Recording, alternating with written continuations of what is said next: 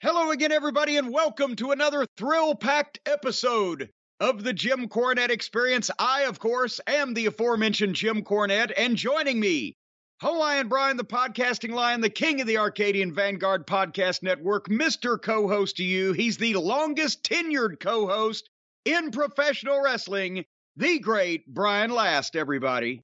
Aloha, Jim. A pleasure to be here once again. I think. Where was the preamble? Usually there's a long preamble there. I don't. I'm eh, just help me open my eyes. Can you email me over some adrenaline? I'm a little droopy today. Doesn't matter. I'm- you wouldn't be able to open it. Well, that's true. You know, I'm having problems with the email. That don't get me fucking started. I just found out about this email issue that I I don't read them to begin with anyway, most of the time, and then when I try to read them or send them, something's happening. And this is a different issue besides the issue that you pointed out to me. Microsoft sent some of my shit back for some reason. Apparently, I didn't dot all my T's and cross my I's or something. My eyes are crossed. What day is this? what time is this? What? Where are? Is this real life? My Or just fantasy? normally. or is it just a fantasy? Aldo Nova, you fucking prick. Um, why did he never follow that up with another hit? Life is just a fantasy. Can you live this fantasy life? I was actually going for Queen, but I think Aldo Nova would have followed it up with a hit if he could have found another hit. Well, who was hiding them from him? Check out, look up. If Aldo hits were Nova easy to come by. Chris Jericho would be at the Grammys. I mean, come on. No, eh, that's that's more of the blind squirrel finding a nut sooner or later fucking category. But anyway, the point I was trying to make is our recording schedule has been all over the place the last few weeks because of the renovations, remodeling, work at the castle here. I got my windows, got my windows in, have to wait for the doors, but I've got windows. I got windows and a wall now. And boy, you ought to see that window procedure they are just where the the fine folks at Renewals by Andersen, best window company in the world. They custom make these bad boys. Got uh, about eighteen of them. They ain't cheap, but they'll last for they'll last longer than I I will. So many years from now, people are going to be looking out my windows. I got to do something about that. Have you ever thought about the fact that you're putting all this money into Castle Cornette? It's a beautiful place already, and you're making it more and more beautiful, more and more sustainable, more and more preserving it for the future. What about turning the whole thing into a giant mausoleum after you pass? Well, that's what's gonna it's gonna be. I'm I'm being buried here in it.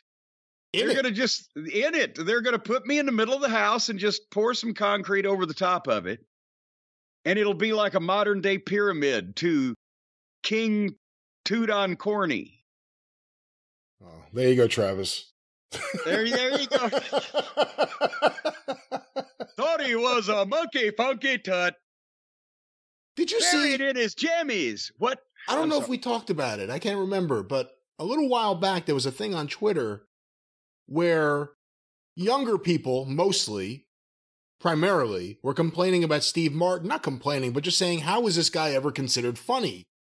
And they were using that as the example, the King Tut video. It was fucking hilarious. Completely out of context of the time and place and everything else. Yes. Because King Tut was in the news. What did Tut do then that got in the news in what, 1977, 78? He went on tour. He went on tour. That's right. The Stones promoter booked him, I think. Sent him on a big fucking worldwide tour. And and that was a hit song. That song was uh, actually that song fucking charted, I think, higher than whatever the Rolling Stones did that year. Fucking complaining about Steve Martin. You know, you should have just stopped with some younger people were complaining. Because they do that without any point of reference. See, I've lived 60 years. I've seen the good shit and the bad shit, so I know what to complain about. These people, they got no experience, Brian. They got no life experience. And they just they don't know what to complain about. There's bigger things than Steve Martin to complain about in the world today. I'll tell you but the weather, we could complain about that. Thank you everybody who tweeted and asked and uh, they didn't call I would have frowned upon that. About whether we're okay here with the bad weather in Kentucky. Let me explain this fucking geographical meteorological fiasco to everybody. So, as of a week ago, this part of Kentucky, Louisville and the surrounding area, was anything from abnormally dry to moderate drought condition. And it wasn't just here, it was other places in, in the area as well. But then over the past week, we've had a few different days where it rained, rained, rained, you know, not horribly. It wasn't the worst downpour I've ever seen, but we we got probably a total of three inches of rain over several days here in the Louisville area, depending on where you were. And now we're still a couple inches behind in rain for the year, but it helped the drought that we had and blah, blah, blah. 120 miles as the as the unicorn flies across the man over in eastern Kentucky. Hazard, Kentucky got eight inches of rain in 12 hours, which is I mean, somebody people uh, uh, saw St. Louis in the news. They got like 10 inches of rain in the same period of time. And St. Louis was fucked up for a while. But Eastern Kentucky, for anybody around the world and anybody even in the United States that has never been there, that part of Kentucky and, and the adjoining part of West Virginia, there's no flat space. The only large flat areas are man-made where it's been developed over recent years and and they've chopped the top off a fucking mountain. That's what they did in Charleston, West Virginia to make an airport. They had to chop the top off a mountain. So down there when they get heavy rain like that and there's creeks and there's a river or two down there anyway, all the water floods from obviously water runs downhill brian. You've heard this. This was in some of the science books. Water runs downhill. I've even seen it yeah. Yeah you, you can watch it sometimes if you catch it in the wild. Well it's mountains and all the towns are in in between the mountains because that's the flattest space. You can't put a town on the side of a fucking mountain.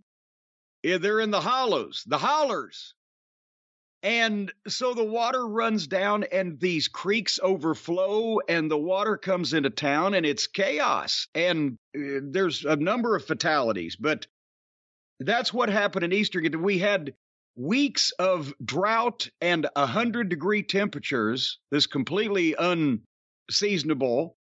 And that turned into deluges of rain in some parts in in just the same day and massive floods. But don't worry, it's going to stop raining and it's going to go back to being 100 and something degrees heat index within the next few days. So we're we're we're okay up here. Eastern Kentucky's not in real good shape, and we hope that everybody comes out through that well. And speaking of somebody that didn't come through something well, did you hear about Tony Dow?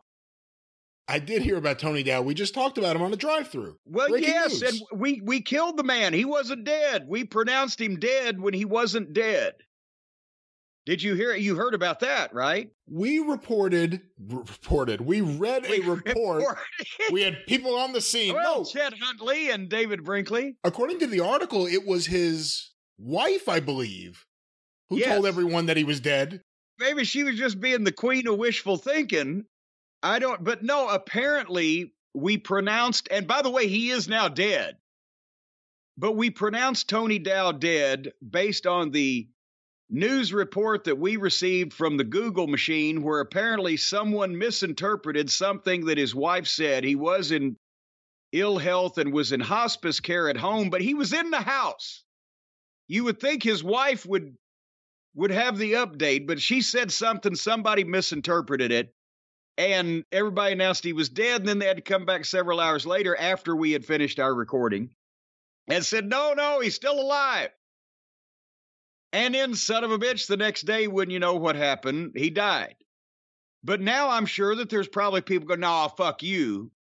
Fool me once, shame on you. Fool me twice, shame on me. I'm not believing Tony Dow, but apparently Tony Dow is deceased. And Generalissimo Francisco Franco is still dead. And Generalissimo Vincento McMahon is still retired. So we just have those updates.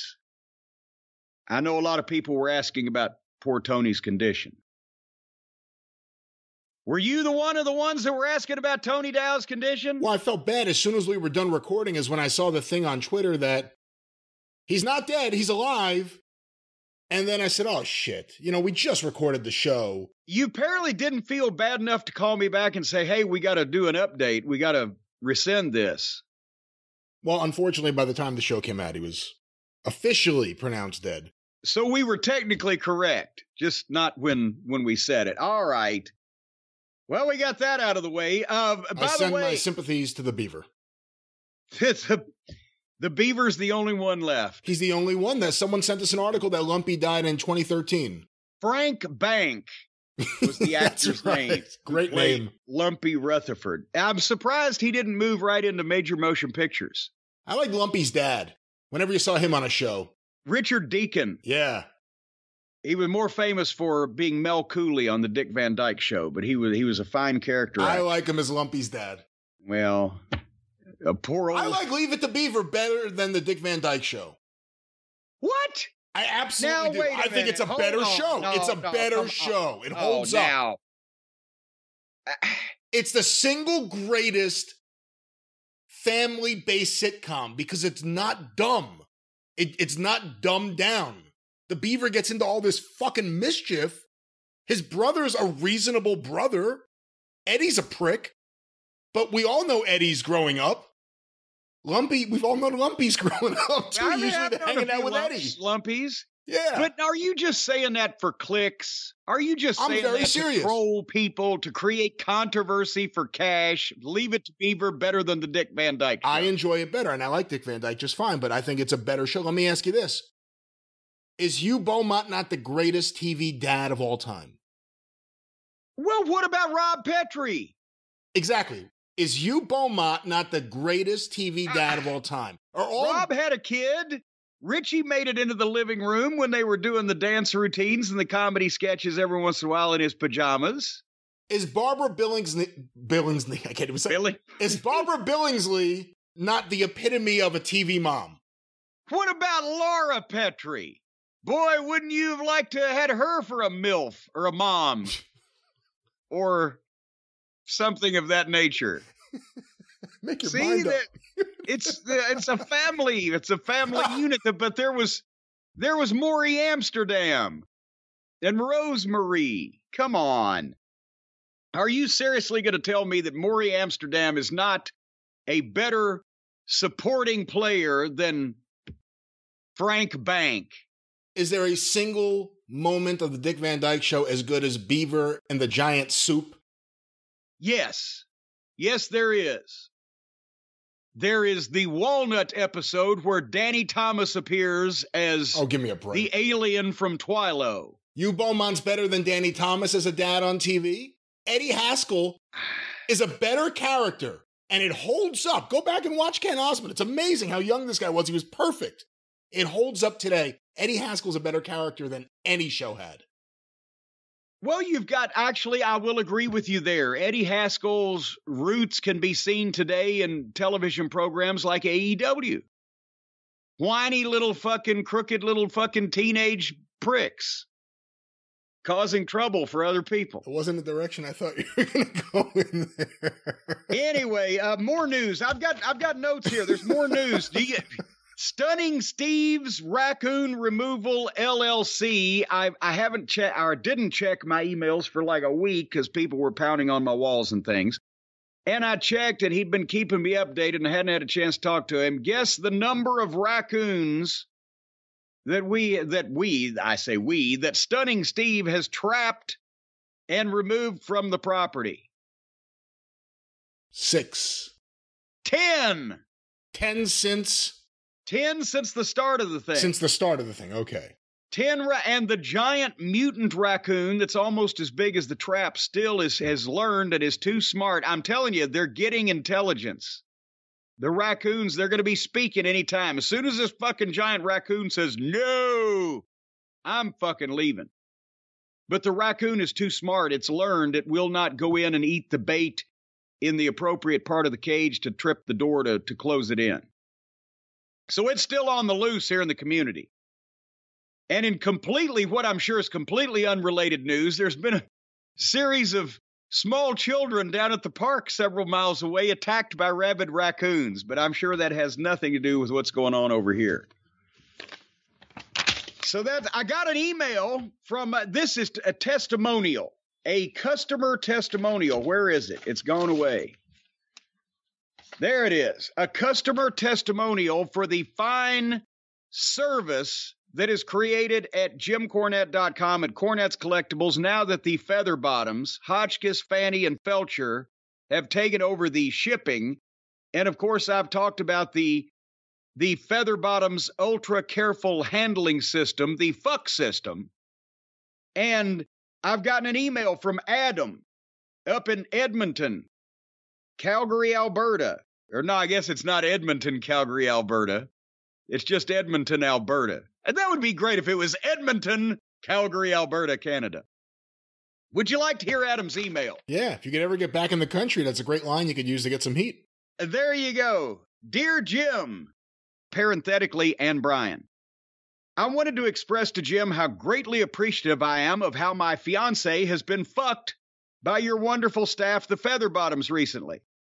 My fiance knows what a big fan I am of your fine programs, and she decided for our upcoming wedding on August 5th. Congratulations, Adam and fiance. He didn't even mention your name, so that's how important you are. But anyway, our upcoming wedding on August 5th to get me a little wedding present from Cornette's Collectibles in the form of an autographed photo with an, ins- an inspirational quote related to head holders and dog fuckers. I remember signing that. And the ever popular thank you, fuck you, bye t shirt. Apparently, the entire process of getting fucked by the feather bottoms took less than two weeks.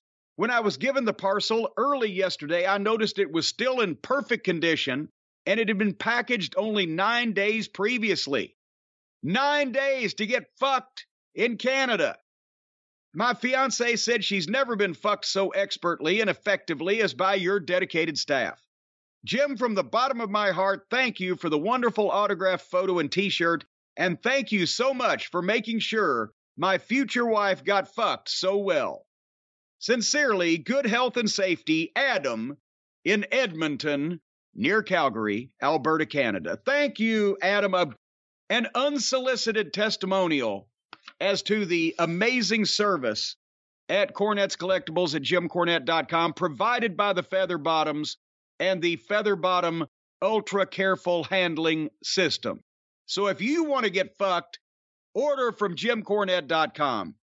And I will mention the commentator play sets are still available, besides the ones that had an accident last weekend with the baseball bat when Spectrum, more on them later, fucked me around on the pay per view. And also the behind the curtain graphic novels. And I'll have you know that right now, by the time you hear the sound of my voice, we have found about three dozen unsold Outlaw Mud Show t shirts that were discontinued. What was it, early last year or whatever? And those are more applicable and needed apparently than ever before. But there's only a handful of each size. We're not restocking them. This is again with the beautiful inventory feature on the website. We're clearing out some space so that I have more storage area. So, and they're on clearance since they are a discontinued item, any size small to 5X while they last, and that won't be long, $20 each plus $5 shipping. The Outlaw Mud Show t shirts while they last. Now that I've said that, if you don't go to jimcornette.com in the next 17 seconds, you're probably not going to get anything but a small. But that's that. And I'll have you know that I almost fulfilled my prophecy, Brian and I got all but 15 packages to the Feather Bottoms from the figure sale a couple of weeks ago. So that will be, uh, by the time the folks hear this, all those things will be in the mail, and the last 15 are being picked up in a day or two to head out that way as well. And we're all caught up and no waiting at jimcornette.com. Isn't that exciting? Are you asleep? Kind of. Is what all exciting? Right. Getting fucked isn't, by the feather isn't bottoms? Isn't it exciting that the feather bottoms are fucking people, not only in the United States, but all over the world so well? Speaking of getting fucked, I've talked about the uh, the people at Spectrum and how incompetent they are and how they don't know how their own equipment works and how they'll steal your money and cheat you. They will make you pay more than you should. They'll give you less than they offer that they're supposed to give you. But apparently, I'm not the person who's had the worst experience with Spectrum and their affiliated cable and satellite and phone and whatever they do to fuck people's lives up. Because a bunch of people have sent me this. They have been ordered to pay, I believe, I saw billions of dollars to the family of a woman that one of their employees who went to this poor old woman's house to service her equipment or whatever, scoped the place out, came back the next day and robbed and murdered her. And apparently, this has gone through the legal system and Spectrum, or what is their parent? I saw Charter also. They apparently they changed their names to stay ahead of the law in certain geographical regions. Well, these fucking crooks now we're on the hook. So that means they're going to be gouging our prices even more now and giving us less service to pay for this. But apparently, they're not satisfied with just being a shitty internet service with people that don't know how their own equipment works so they can fix it when their other incompetent service people screw it up. And they'll take your money, but they'll also come back and murder you in your own home hours or days later. So that settles the issue of why I'm not going to have any more of these repugnant fucking reprobates out here in my in my home. I'll just send them their monthly graft payment or uh, maybe they're running a protection racket. Here, you're only giving me half of what I'm supposed to get and you're charging me twice as much as you should be but I'll just send you that check so that I don't you don't send your people over here to murder me in my sleep. Last time on the show you I thought about editing it off the show. You talked about how the next time Spectrum comes in your house you're going to do this, you're going to do that. I believe I said grab them around the neck and squeeze their britches full and make their voices sound like Peter Frampton's electronic kazoo solo and Do You Feel Like We Do? That was it. Yes, physical felonious assault. The Frampton reference made me remember because, again, the last time we had talked about him was a keep spot.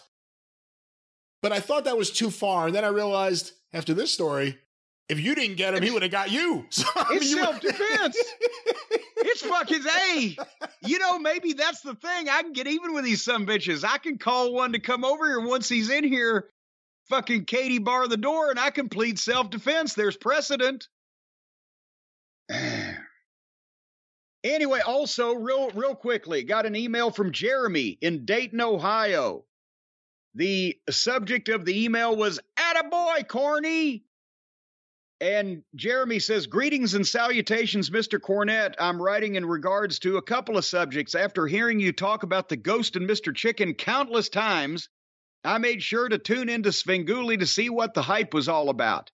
I did thoroughly enjoy the film, but the best part was watching my handsome puppy Luther lose his mind every time anyone said his name. Secondly, I was wondering if Luther could get a shout out for his second birthday on August 4th. I'm attaching a picture of my baby boy. He's an 80 pound American bulldog and great Pyrenees mix. I've never even heard of a Pyrenees. He was a a cute little, well, I won't say little, he's a cute puppy. I don't know about baby or little, 80 pounds already. Got big paws. It was, it was a cute picture. You ought to seen it, Brian. He was he actually he almost dressed like you. He he looks like quite me. a bit like you. Yeah. In what way? Well, just you know the cute little collar he had on and the fucking tags and everything like you wear. Anyway, so Jeremy, we happy birthday to Luther. At a point, the tags. Stop right. it. I'm Stop. Moondog last, ladies and gentlemen. Stop it. Oh, god damn it. Uh, what else we got here? Um, oh, also, you know what I was doing? I, I jotted this down last night because I was straightening up the office. And there's nothing ever on TV anymore. It wasn't time for real time. Bill Maher's back, so at least we got that going for us. But it wasn't time. It wasn't the the time for that. And I said, you know what? I'm going to pop in one of my state of the art DVDs, a little a little clean in the office music. And you know what I put in? I put in one of my 12 volume set of Burt Sugarman's Midnight Special performances. Did you this was a TV offer that Stacy got for me about 7 or 8 years ago, I guess it was. You prefer Have you the- seen these? I have seen some of them. I don't have the whole set. I wish I did. Do you prefer the midnight special over rock concert? Well, now it depends. See, it's never just that easy, Brian, to just answer a question like that because Don Kirshner's rock concert was exceptional for its time and of course for the for the younger folks before MTV you never got to see what the artists playing your favorite music looked like cuz they were especially if it was the the uh the young rock groups weren't sometimes welcomed on mainstream television back in those days. You got to go to the Ed Sullivan show. He was before his time. He was actually before and after his time. And the world was better for it. There are so many ugly people that make great music that would never get a chance today. Well, but you wanted to see what they looked like, right? You know, so you got to see either Don Kirshner's rock concert, which was that, but they were both, no, they were, uh, Kirshner's rock concert was syndicated, right? And then Burt Sugarman's Midnight Special, that was NBC. And for a while, ABC had In Concert. The point is, they were all trying to get this revolutionary new segment of society called teenagers and rock and roll fans that TV had ignored. And the Midnight Special was was great when they started, but then as you see in the DVD set toward the end of the 70s, there started being more lip syncing and started being more videos played. And then it's just the same thing. You know, in the early years, especially, unless the artist just didn't want to do it, apparently, or it couldn't be replicated on stage, the, the performances were live. And that was even wilder because you never got to see that. So, in concert had its moments where it was better than the Midnight Special, but the Midnight Special, especially early on, I think was better because let's face it, Wolfman Jack was more fun to watch than Don Kirshner. Well- Don Kirshner was no Dick Clark, but he couldn't he couldn't keep himself off his programs. Maybe that's why the Monkees didn't like him. But anyway, I put this DVD at, you know, my favorite one, 1973, that golden year. Brian, listen to the live performances from just that year alone that were on the Midnight Special. What year did the show come on? Because that must have been early on in its run, 73. I think I think this is the first year. yeah, okay. Because that uh, 73 was the I think that was uh, maybe maybe uh, Don Kirshner's rock concert came along in 72 and I think in concert came along as an answer to the midnight special. So 72 73 was the big change. But these performances do you know what I consider the best female vocal performance of the 1970s? From 73, From 1973. Gladys Knight. No, I give you're up. completely lost. yeah, I don't know who else. Uh, what what woman singer did you really? I, I don't even know why I put it that way. What female What vocalist? woman singer? Because you hate women. That's why I put it that way. singers? Them damn women, they're singing again. Linda Ronstadt, long, long time. Live version on the Midnight Special. It's just her out there with the microphone. The band in the background is subdued. It's a slow song. No fancy instrumental track, it tricks or tracks. It's all about Linda Ronstadt and her voice, the plaintiveness of it, the sadness, the emotion. She knocked that one out of the park. I dare you go back and just watch this woman emit her art and tell me that's not the greatest vocal performance of the 70s. yeah, you just love that whole scene. The Eagles, Linda Ronstadt. Oh, come on, but it's talent. It's talent. Love will abide. Take things in stride. You know are what? not gonna. What? You're not. You're not even going to say that, that that those amazing lyricisms of the early singer songwriter years are not uh, not art. I'm not saying, of course, they're art. I'm not saying they're not. I'm just Some of them I may not want to listen to. Some of them may be a fart instead of art. Have you ever seen the Old Grey Whistle Test out of England? That's yes. my favorite. I have all those DVDs because those are the best film performances and the single best performances because there's no audience usually. It's just the artist in the studio with the camera. But but the audience whispering Bob Harris. The audio, I agree. The live performances on the Old Grey Whistle Test are uh quality but you got to oh, have yeah. the audience to give some feedback there even in a studio just a little it's like doing angles in front of an empty building.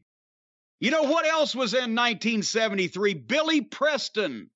Will It Go Around in Circles? Live performance on the Midnight Special. Now, 73, trying to think what year the Stones toured. Because remember, he was a part of the Stones touring band for a few years. He played on yes. a few of the albums too. I think 73 might have been one of the years. And as a matter of Goat's fact, Head Soup, uh, right? Uh, it yes, as a matter of fact, and he but he stopped by the midnight special because he had a story that ain't got no morals and he let the bad guy win every once in a while can you imagine? you got you go ahead i'm just saying can you imagine being like a young musician playing with other young musicians and then a few years later they're the beatles and they're like oh shit you're in town come by the studio play with us the beatles that's amazing. It's amazing what happened to Billy Preston. The and then he, he he actually played in Get Back in Sergeant Pepper. He was the the the bugler. Remember? That's the worst movie. Why would you even? Did you see that movie? That whole thing? Oh yes, through? but it was it was great for Earth, Wind, and Fire, and that's that. And it was awful for everything else. The Bee for everything else. oh. Yeah, it killed everybody else's career, but Earth, Wind, and Fire came out sliggered and come on a gold tooth, and that that soundtrack it was a double album and that soundtrack album got more publicity following up Saturday Night Fever. They thought they had another one, Robert Stigwood and the whole nine yards. They thought, okay, this is the Golden Goose, and the publicity for that album was incredible. It's the only album in music history that shipped double platinum and returned triple platinum. Did you ever see the movie that Stigwood produced after that, Times Square? No. That is actually a movie I love, even though the finished version is not what it was supposed to be. It was supposed to be like some teenage lesbian story in Times Square in the 70s. Instead, it ends up being about a politician's daughter who runs away and meets this teenage runaway, and they form a punk band. And this is in Manhattan, and it's all filmed on the streets of Times Square in the late 70s. It looks incredible. And Tim Curry, my favorite Tim Curry role ever. It sounds weird saying that, Johnny LaGuardia, the DJ, who plays that. And he's just so good in this fucking role. And it has the greatest soundtrack. It's a double album, and it has all the punk and I guess I'll say new wave, punk and new wave songs from that era. And the movie just bombed. And the soundtrack's kind of a little bit of a collectible now, but I like the movie, and I think it's a beautiful looking movie, and it's a great capture of Times Square in New York City at that moment. But the soundtrack's awesome. And you just love the punk music. You love the anti-establishment crowd. Okay, I uh, do. back to, back to the midnight special. Then, if you like the punk music, live ten minute version, Marc Bolan and T Rex bang a gong, live ten minutes. T- it's at least ten minutes. He does two different solos. He goes through the whole god. He changes instruments, and he's got the two rowdiest black female backup singers that were ever allowed to appear on network television, just shaking and quivering everywhere. That was his only hit in the States, but he had a bunch of hits in England and he had some great albums and great songs. Do you know any of his material beyond Bang a Gong? Uh, a bit of it because, and I don't know whether this is true or not, but Adrian Street was always some very reliable with his stories. And he said that his stylings, style, whatever, uh, the exotic Adrian Street influenced Marc Bolan. That's what he always told me. The early glam rock. Do you like Slade? Run, run, run away. Goodbye to Jane. Where did when did where did Jane go? Well, it's in the song "Goodbye to Jane." They did the original version of um, "Come On, Feel the Noise." That's right. And then uh, who was Quiet Riot? Re, uh, remade that or right. covered that. And it, but yes, Slade was the original come, and they even they even spelled it awkwardly as well, didn't they? Or did they? Or did Quiet Riot start that? No, uh, Slade started that.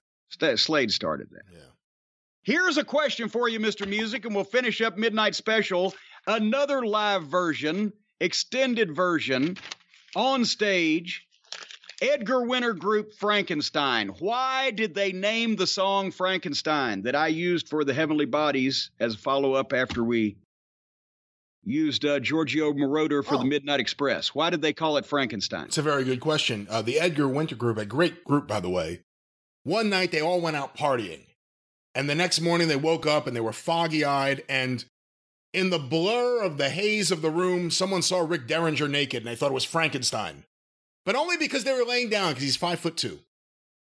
Okay, that's good off the top of your head, but it's complete bullshit. It is, but good off the top of my head. yeah, head. but it was good off the top of your head. But that song was pieced together by from literally pieces of tape from various things they had done in the studio, which is why that it sounds like it's two or three different songs put together, but in the masterful way that it's done with a variety of instruments. It was pieced together from remnants of riffs and uh, uh, things they had recorded and they put it all together and made it flow. And to show how good Edgar Winter was, in the live version on stage, he plays every goddamn instrument. He plays the keyboard, he plays the drums, he plays the he plays the whole nine yards. They keep handing him shit. He goes from one to another and does that whole song live on stage, including uh, the feedback in the middle and I think is that at the end, is that where he sets the goddamn amplifiers on fire? Possibly.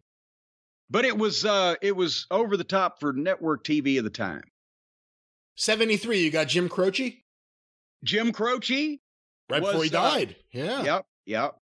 And um I'm trying to think. Wait a minute. We had two Jim Croce. There was two clips, and I'm trying to think which one was on the 73. It was probably Bad Bad Leroy Brown, and uh, Operator was one of his songs that he was playing a lot yeah, that yeah, yeah. period. Bad, bad. Leroy Brown was on that, and Operator was a Yeah. clip. I think Operator did Operator not come out after he was already dead.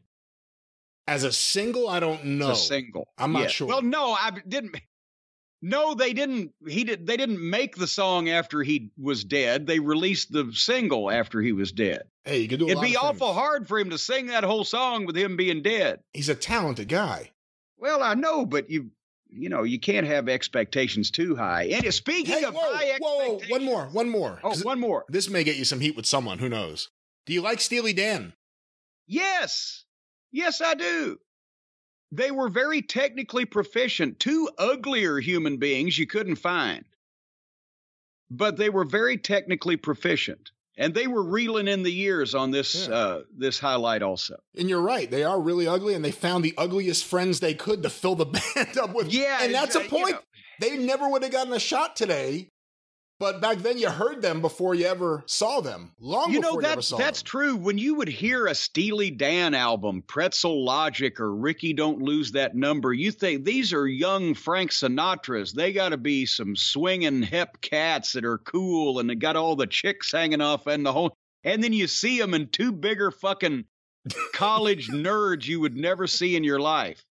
They they if they were that age today, I'm sure they'd be AEW fans. Who was the original drummer for what would become Steely Dan? Oh god damn it. It wasn't I- called Steely Dan yet, but it was Fagen and uh, what's his name? Walter Becker. The dead one. but yeah. uh, but but that's not the drummer. That's the Becker and Fagen Right. were basically the the group. Uh, the drummer, uh, I'm lost. Chevy Chase. What? That's true. I have never heard this before. Are you? Did you hear this from Hulk Hogan? I heard this from Chevy Chase. No, I, this is, Oh. I think, a known thing. It's out there. I'm going to just throw it out there now and let the thing. listeners get back to you with some Chevy Chase and Steely Dan notes. Well, if anybody does uh, have any light to shed on this, please, please pop in and let us know if Chevy Chase, or maybe you're getting them confused, and Chevy Chase was going to play for Metallica, and it was Hulk Hogan that was going to Oh, go with Steely Dan. Steely Dan had a show in Chevy Chase, Maryland. That's what I'm getting confused with. That's what it was. Um, all right, I got an update. I promised an update last week on Norman Dooley.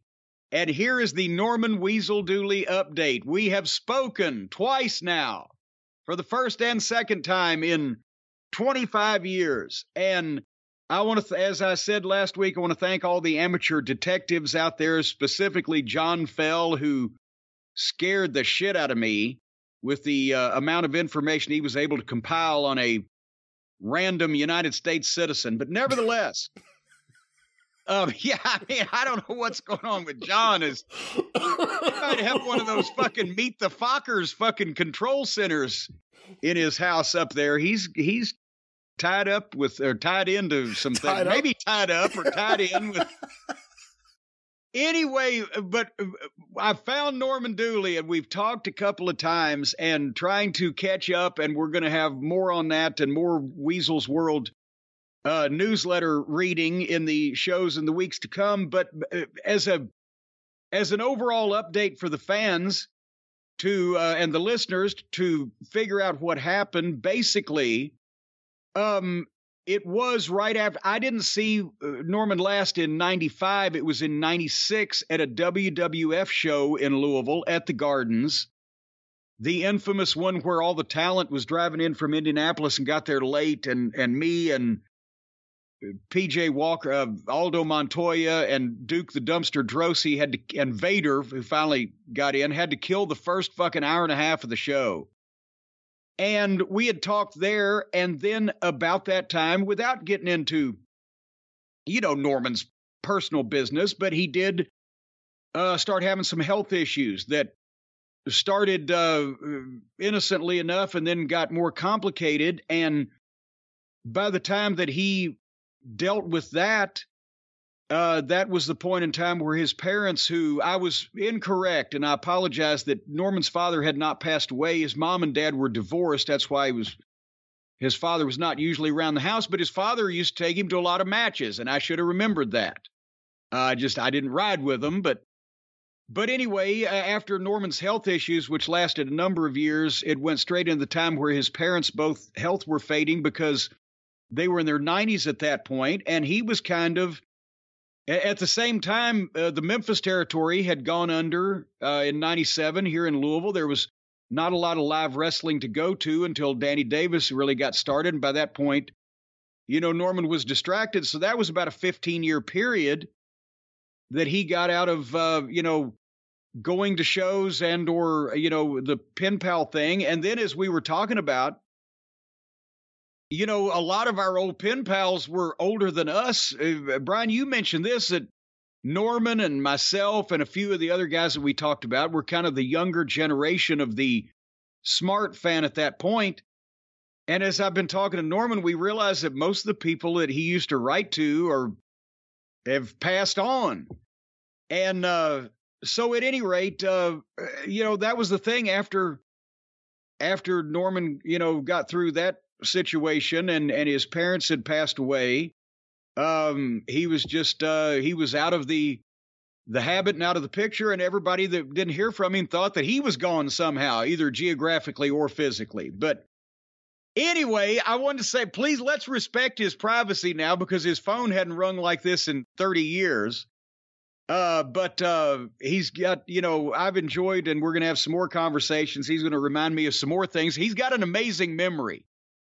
As Lawler said one time, he reminds elephants of what they forgot. So that's the Norman Dooley update. And thank everybody for their help in uh, in getting us back together. And we appreciate everyone's help. And with that said, John Fell, stop blocking the man's driveway. Go home.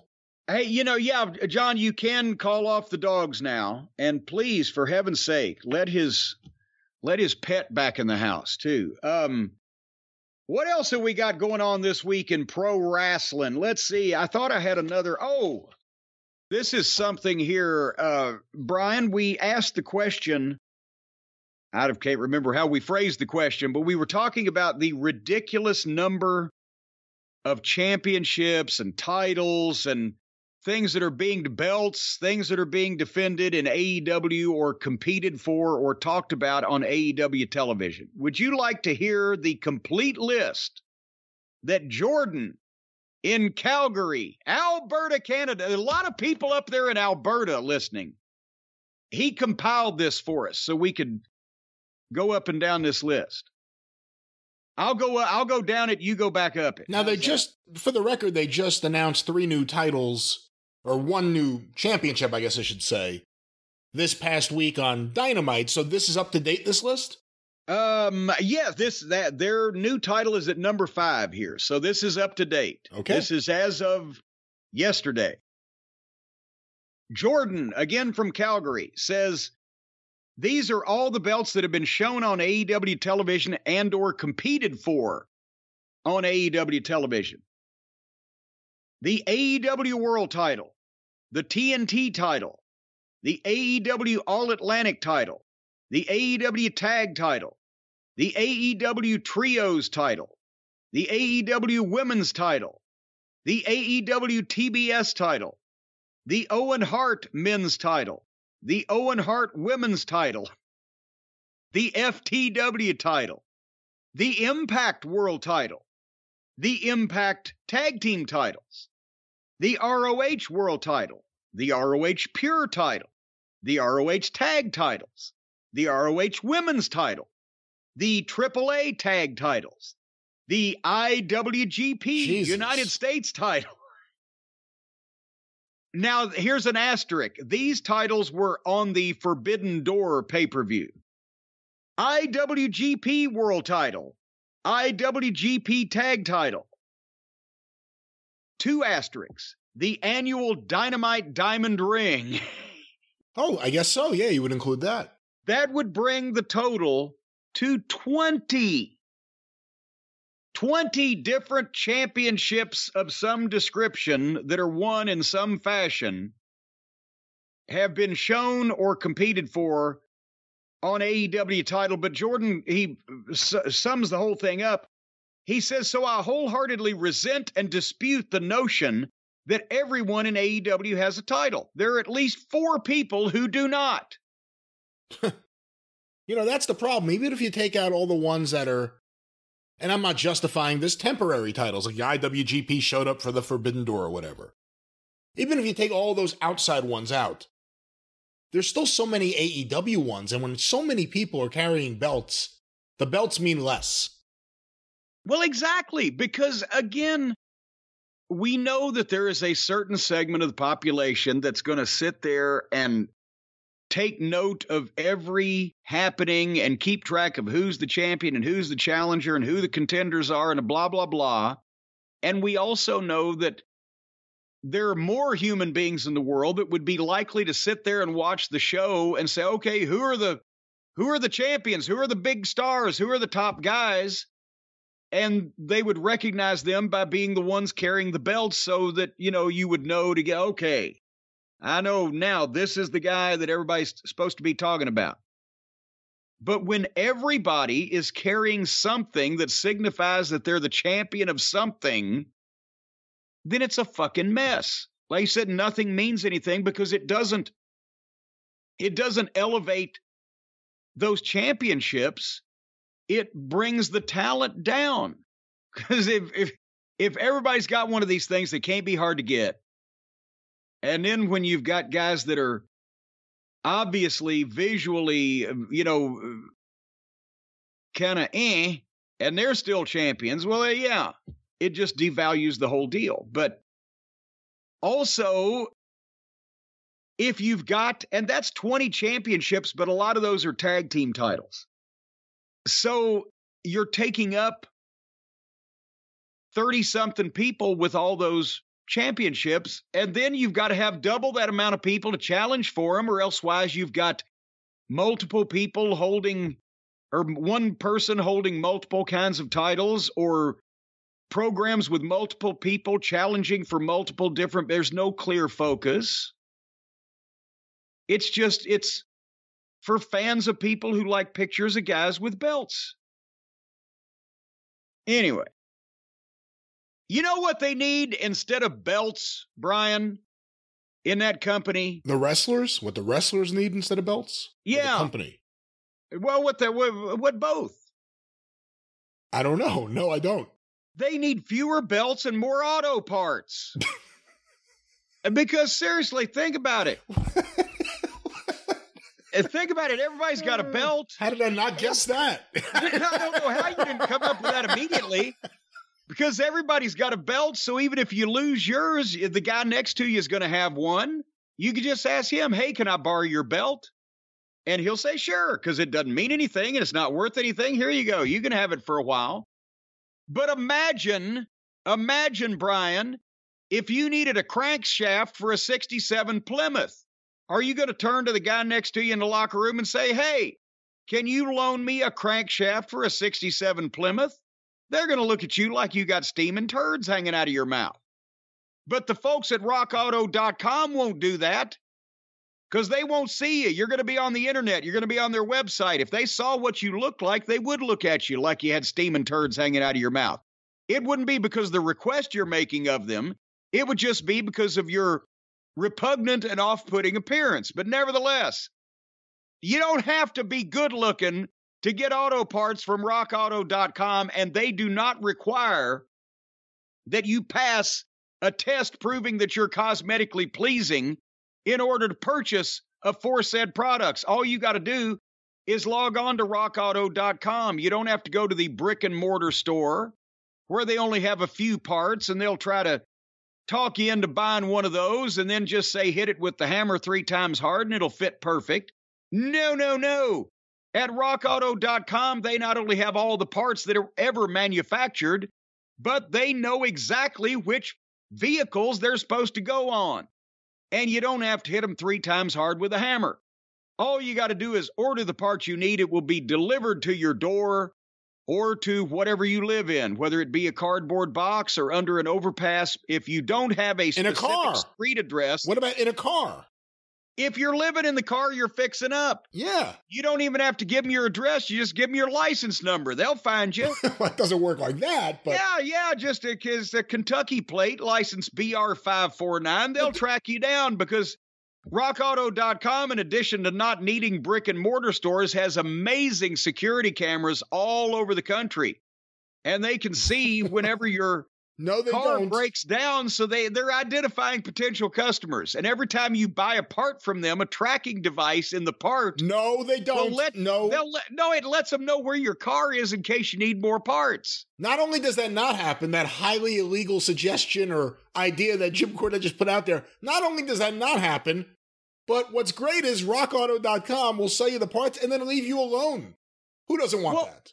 Well, but when they bring you the parts, how do they find you if they don't have the tracker on you? See, you give them your license plate number and you leave the trunk up and you go to sleep. And then the next day, your parts are in the trunk. The trunk is clean. And by the way, if you pay extra, they'll remove from the trunk if you have any dead bodies or stop it. decomposing material. They'll take them out for an extra charge. They'll put your parts in the trunk, close the trunk. That's the way you know the transaction is finished. Don't have this stuff delivered to your house. Once they know where you live, you'll never get rid of them. Just have it delivered to the trunk of your car. But whether it be a car or a truck, no matter what kind of parts you need engine control modules, brake parts, tail lamps, motor oil, thermostats it's all right there. And they're the lowest prices that you'll find. Well, you can find lower prices if you go to some of these uh, junkyards that you find in lower income areas and you see some people crawling over the fence, you can get parts from them for lower prices. But sometimes people will come and, well, they'll take those parts back and they'll use them as evidence, and you might be caught up in that whole thing. So go to rockauto.com and you'll get parts that nobody's looking for. Actually, you may be looking for them, but to purchase them. I'm not talking about looking for them to repossess them and potentially bring criminal liability onto the person who is currently in possession of those things. Anyway, did I mention that rockauto.com has a catalog yeah. that's remarkably easy to navigate and safe? And safe, safe and good for you. So you can see the parts, you can buy the parts, you can choose the parts, you can do the whole thing with it. Why spend up to twice as much for the same parts? You can you can spend half as much for these parts as you'd spend for these same parts in different parts of the country. So don't go to parts unknown. Stick around here and get parts from us. RockAuto.com and write JCE in the How Did You Hear About Us box so they know that we sent you to them and we told you how they work because they want you in on this whole thing. They don't want any surprises. You know, some people, if they don't know going in what they're going to experience, they call the police. Anyway, amazing selection, reliably low prices, all the parts your car will ever need. RockAuto.com. All right. Well, we talked about that we're verklempt on our schedule, but the schedules of all of these pay per views and big events have gone sideways also now. So, and and our schedules are fluid as a result of this. So, Brian, we have decided what we're going to do with the this show, the next show, etc., as relates to the SummerSlam pay per view. Both you and I thought SummerSlam was on Sunday night because WWE pay per views are normally on Sunday night. Well, and then last time, the AEW pay per view that we thought was going to be on a Saturday was on a Sunday. So apparently, since we have now been pushed to Saturday recording because of my construction and SummerSlam is tonight, we can't turn around and do another one of these incredibly entertaining, wildly popular uh, podcasts in less than 24 hours. So, what we're going to do is we're going to review SummerSlam and put that up as a breaking news clip on the official Jim Cornette YouTube channel first, and then insert that. I love the word insert into the drive through program that we do in a couple of days. That's your show, by the way where we will also have some questions, and hopefully the WWE will not do a media scrum. I'm scramming off these scrums for a while after last week. I don't know. Triple H may like talking to the wrestling press. Well, he he did uh, here recently, and we've got some of that in a, in a minute. But did I say that right? So we got this program today and we did we did the the drive through was just a few days ago. We covered everything up through well, nobody watches NXT anymore, and we'll talk about Wednesday's Dynamite here in a few minutes. And SmackDown was blah um last night. So on the drive through, we'll be talking about SummerSlam and whatever else happens in the next few days, but you can hear the SummerSlam review first on the YouTube channel. Did I get that out right? In a very clunky manner, I think so. The way are it works you, is. Are you insinuating that I'm clunky? Well, no, I'm insinuating that was a clunky manner. There's a difference. You don't well, have to be clunky to be demonstrating the clunky manner. Well, why don't you just, since you're in last manner, why don't you just say it better than I said it? The SummerSlam review can be heard this week on the drive through my show, wherever you find your favorite podcasts. And if you are one of the, what is it now, 310,000 subscribers and growing by the day to the official Jim Cornette YouTube channel, you will certainly get some clips, possibly the full review, but certainly some clips from the reviews before the podcast comes out. You know, I heard a few clunks in there myself. That was my chair. Oh, well, you went from squeaking to clunking. All right. But in the meantime, the world of the WWE has not stopped uh, spinning. Uh, Vince is still retired as of right now. We'll see how long that lasts. But some of the the associated family have been uh, speaking, and we haven't heard from Linda in a long, long time. And apparently, and she's associated we, family. She's associated family by marriage at this point, if nothing else.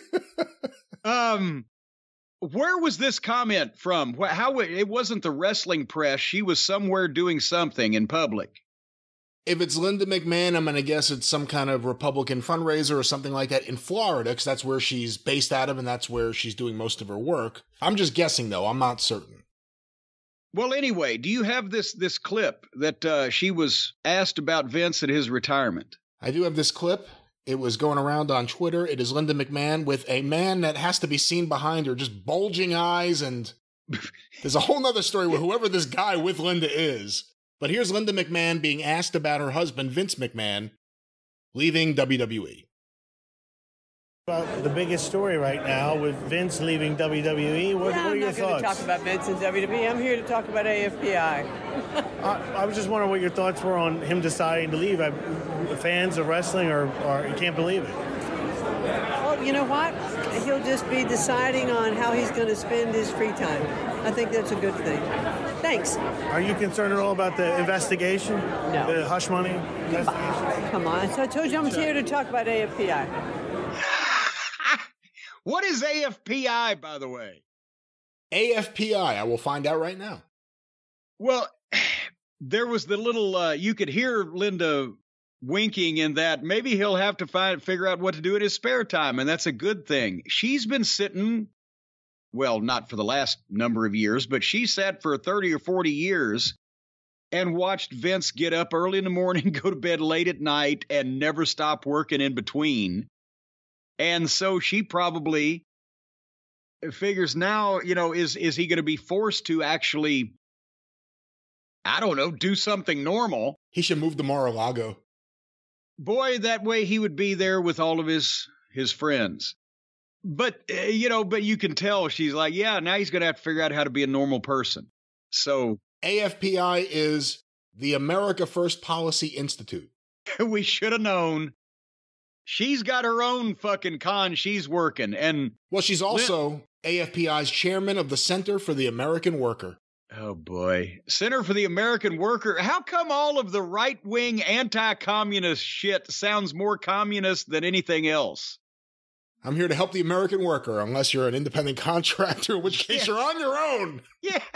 I'm here to help the American worker. I'm here to help the American worker out of their uh, retirement benefits, their health insurance, their 401ks, and all of that other stuff that my workers didn't used to get. Miss McMahon, I have $300,000 in school debt. What should I do? Get a job with WWE, sleep with my husband. Thank you.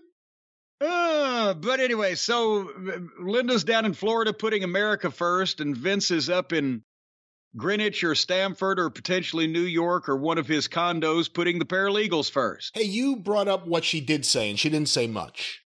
And clearly, she did not want to talk about this. And you can understand why. What she did say, is that telling to you that it wasn't, oh, it wasn't really anything warm or, or helpful to Vince in any way? It was kind of just, eh, he'll have to do something else now. Yeah, well, no, she's, uh, she can't be, she's out working the political fucking con, not the wrestling con so she can't say anything uh, complimentary to or warm to or defensive of or whatever Vince because then she'll look bad when all this stuff and who knows maybe she doesn't know everything that's going to come out.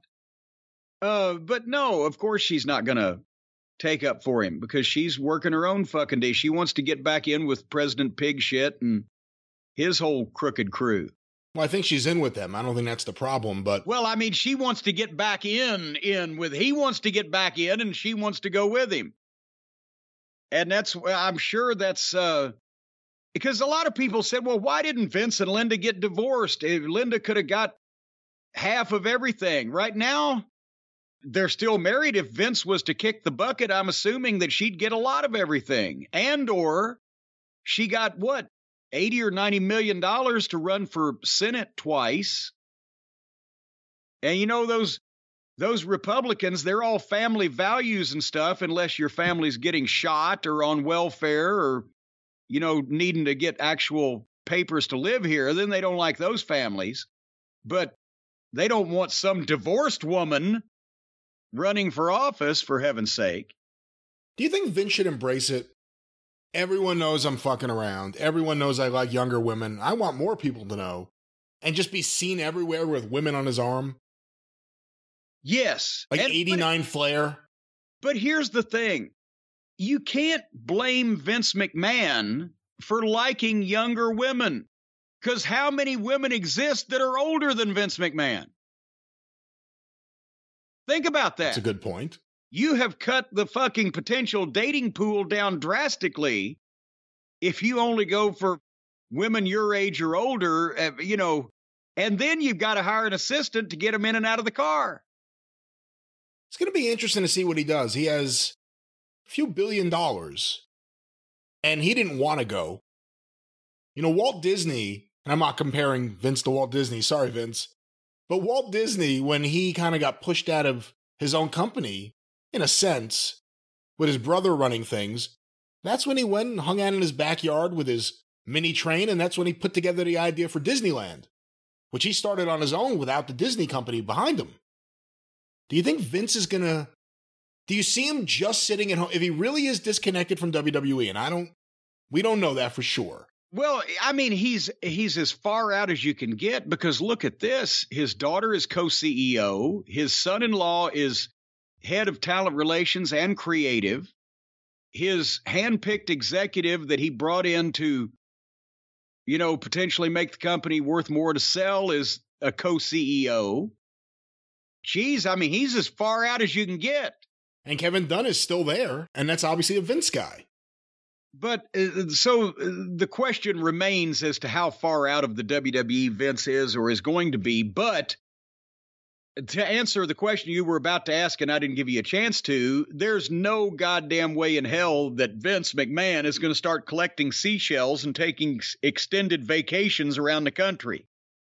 He's going to work on something. He's going to do something. He's going to make something.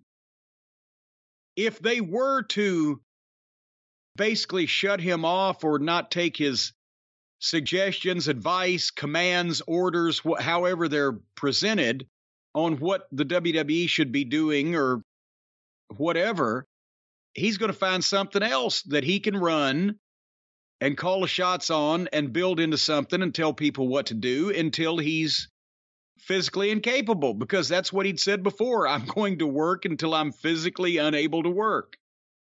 And that hadn't changed it, just what he's going to be doing might have changed, but that mental fucking stance that Vince has is not going to change. It's not like he's just, ah, oh, fuck it. I'm going to the pool. Did he shut down? Because XFL was owned by, was it another company, Alpha Entertainment or something that he started? Yes. When he, I guess, sold the XFL technically, right? Did he sell the XFL to The Rock? I'm trying to remember what exactly happened now with the XFL. Did it go into bankruptcy or did he sell it to The Rock? I'm th- I don't think it went bankrupt because I don't think it was far enough along to, but they did, Rock did purchase from some entity. So the question you're asking is even if he sold the XFL, is there still an Alpha Entertainment? Right. Does he still have an entity? Does he still have a company? Something where he could very quickly if he wanted to do something, mobilize. And of course, we have to be honest, outside of wrestling, Vince has not succeeded really in any of the entertainment ventures he's tried over 50 years. Well, and to be honest, all the businesses that he has failed at were somewhat related, except for the XFL, were somewhat related to wrestling but just not enough for the wrestling fans. the the wrestling themed restaurant didn't really work out well because as I've mentioned before when you think of fine dining the first thing that comes to your mind is the WWE. The bodybuilding federation was was kind of wrestling with no fucking fighting even to the point where Luger was in it but I mean just that was Vince's mistake thinking that anybody in any mainstream numbers would want to watch muscular guys go out and pose as a as a dramatic series. Um, he promoted the Rolling Stones that failed. He promoted you. He promoted uh Chavez. Uh, no, he promoted Sugar what? Ray Leonard. Didn't he promote Sugar Ray Leonard in a fight that bombed? Even though he was one of the hottest fighters in the moment. Oh shit, that's right. Well, and also he Evil was Knievel. part of the uh, he was part of the Evel Knievel Snake River Canyon, but that was so long ago. That was 50 years ago. But what about the. I was there on the creative team when they bought the Debbie Reynolds Hotel and Casino. Do you remember that? Oh, I remember. They were going to actually open it up as a wrestling themed casino, weren't they? Yes, until they didn't. And I'm trying to remember, but part of the thing with Debbie Reynolds apparently had had a casino that was branded under her name in Las Vegas, but it wasn't on the strip. It was way off, hell and gone to the side of things in a not a heavily trafficked area. And it had fallen into some type of disrepair as well as ill favor with the locals. And they bought this thing for like $10 million, as I remember, and we're going to do that big wrestling casino, whatever. And then the, I, I can't remember all the details, but they found out a bunch of shit of why that that probably wasn't going to be a a good thing to do or a good place to put their money, and they ended up, I think, selling it at either a loss or maybe a break even a few years later. The property, but that's the point. Whether they've been related to wrestling or not, Vince's track record outside the core business, as they say, has not been good. But I, I, you know, that's the problem is I can't see him doing anything as another wrestling promotion because then that would be devaluing or potentially trying to devalue if it was successful something that he still owns the majority of. So it's it's not like he's going to start a promotion to compete with the WWE because he still owns most of the WWE and and what he doesn't own, most of the rest is owned by his family and cl- close friends. Yeah, he's gone from any active role, but if the stock goes up, Vince makes money. Yeah. That doesn't change. So that some people have been, oh, would he, you know, I mean, not even the ridiculous Vince McMahon's going to all elite. No, that's just delusional. But it wouldn't be delusional if if the situation was different and they had run Vince out of the WWE and he didn't own that much of it and his kids were still not in charge of it. I can see him saying, okay, motherfuckers, I did it before, I can do it again, and starting something that would try to run the WWE out of business. And that would be interesting. But right now he's it he's in if you magnify the financial situation about 4 billion times, he's in the same situation as I was when they released me from my consultants deal with WWF. That meant that I was not allowed to be involved in the developmental program anymore, but I still owned a significant part of the company that was providing their developmental services. You so should, you should give him a call. Yeah, maybe I can commiserate. See, Vince, yeah. remember what what uh, your deputy fornicator John Laurinaitis did to me 15 years ago? Well, now you're in the same situation.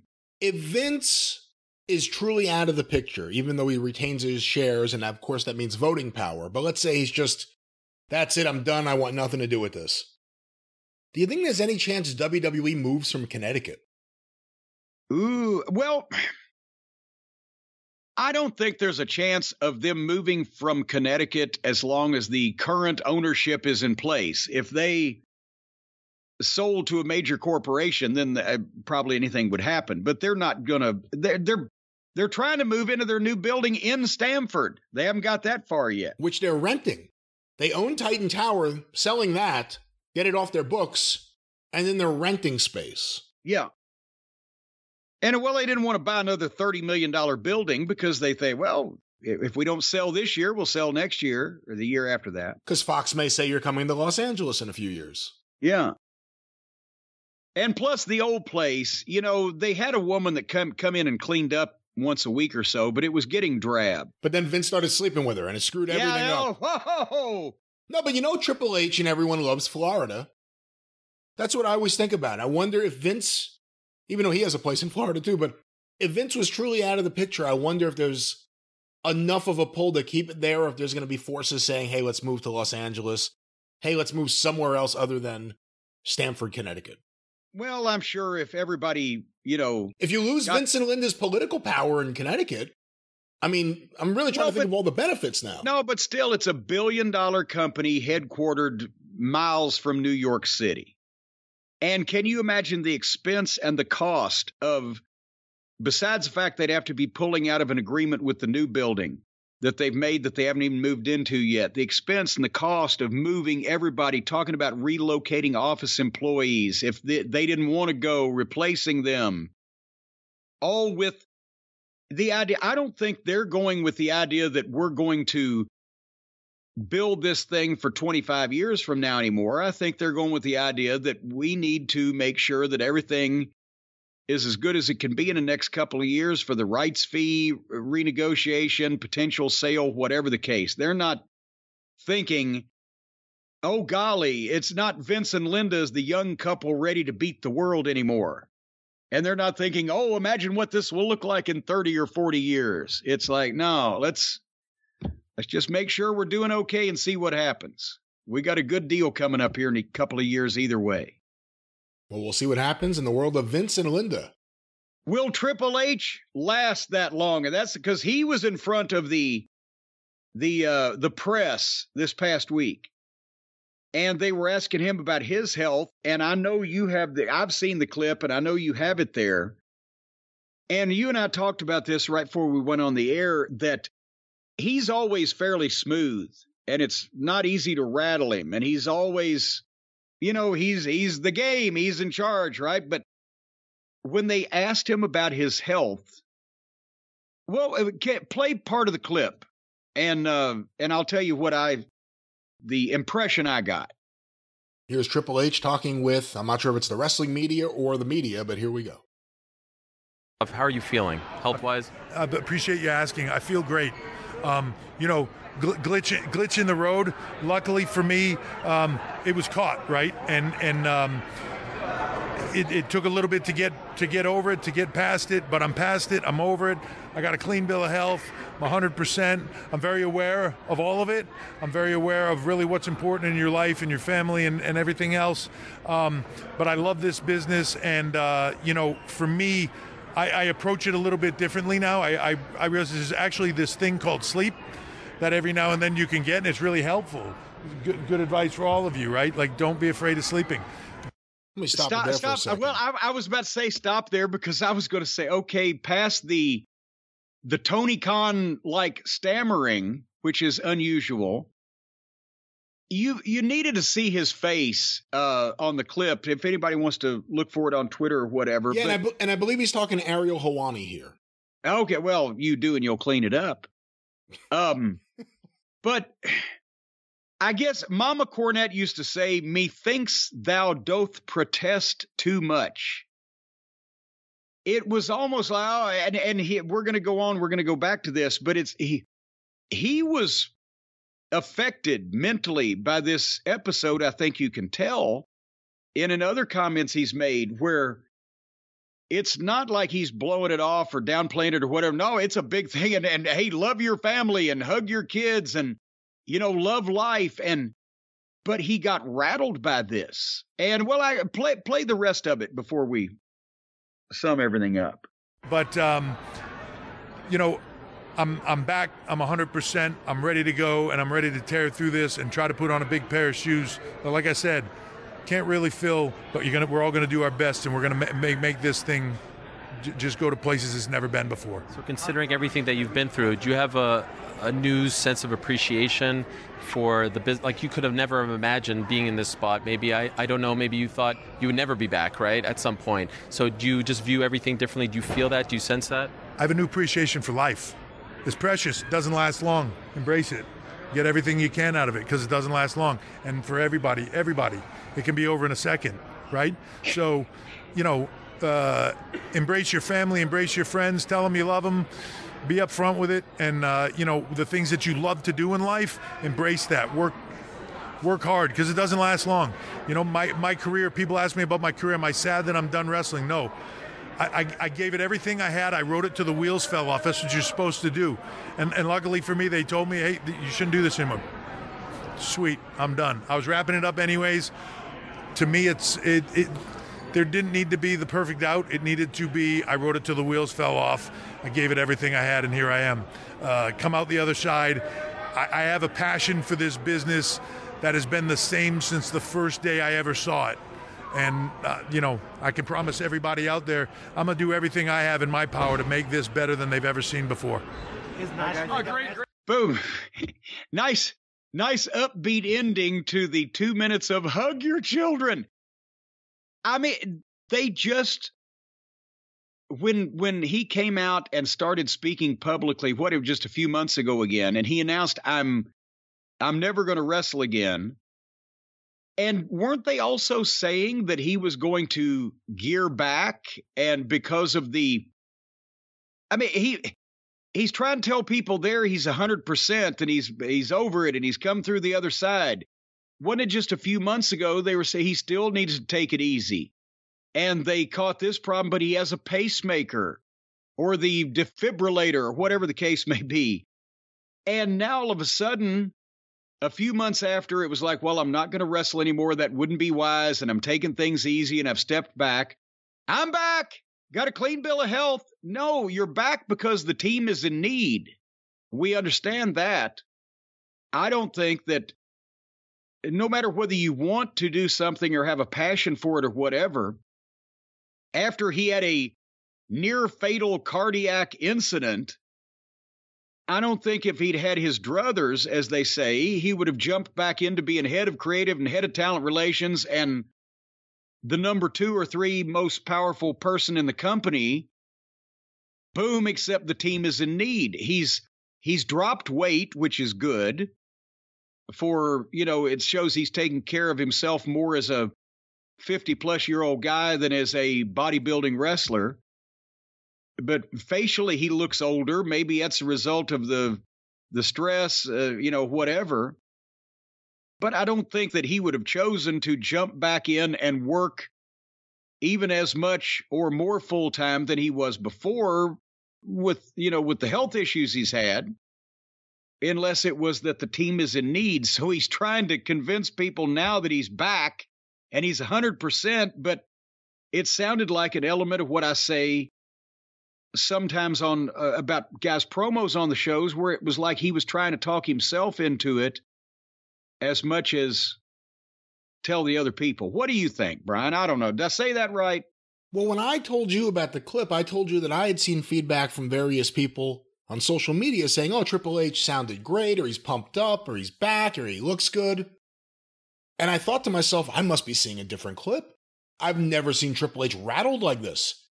To use a bad pun, I've never seen Triple H off his game like yeah. this. I've never heard him stutter as much as this.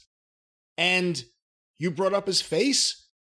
He looked older. I mean, look, he's in his 50s now, but looked older, paler. I'm sure he's not tanning the same way, but he looked like a guy with a lot still on his shoulders, not like a guy who's getting enough sleep, who's going to tell everyone about the virtues of sleep. I hope for the best. I actually came out of this.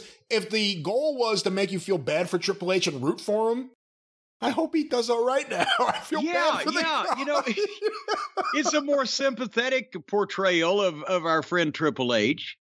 But yeah, that's that's the thing. And how he's saying, "I've discovered sleep," and you know, he's going to be in a two jobs where the person who holds either one of those jobs normally doesn't sleep that much. But now here's the thing I wonder, without having to work directly under Vince, with Vince, alongside Vince, all of the people in creative, the office, everything, they're probably going to get more sleep just because they're not going to be pushed from seven in the morning until nine or 10 at night and Triple H has an appreciation now we we know for sleep, so he's not going to want to do that to other people. So maybe the biggest takeaway amongst the people at the real top, tippy top in the WWE is going to be, my God, now that Vince is gone, we can actually count on going to bed at the same time every night and the phone not ringing or whatever the case.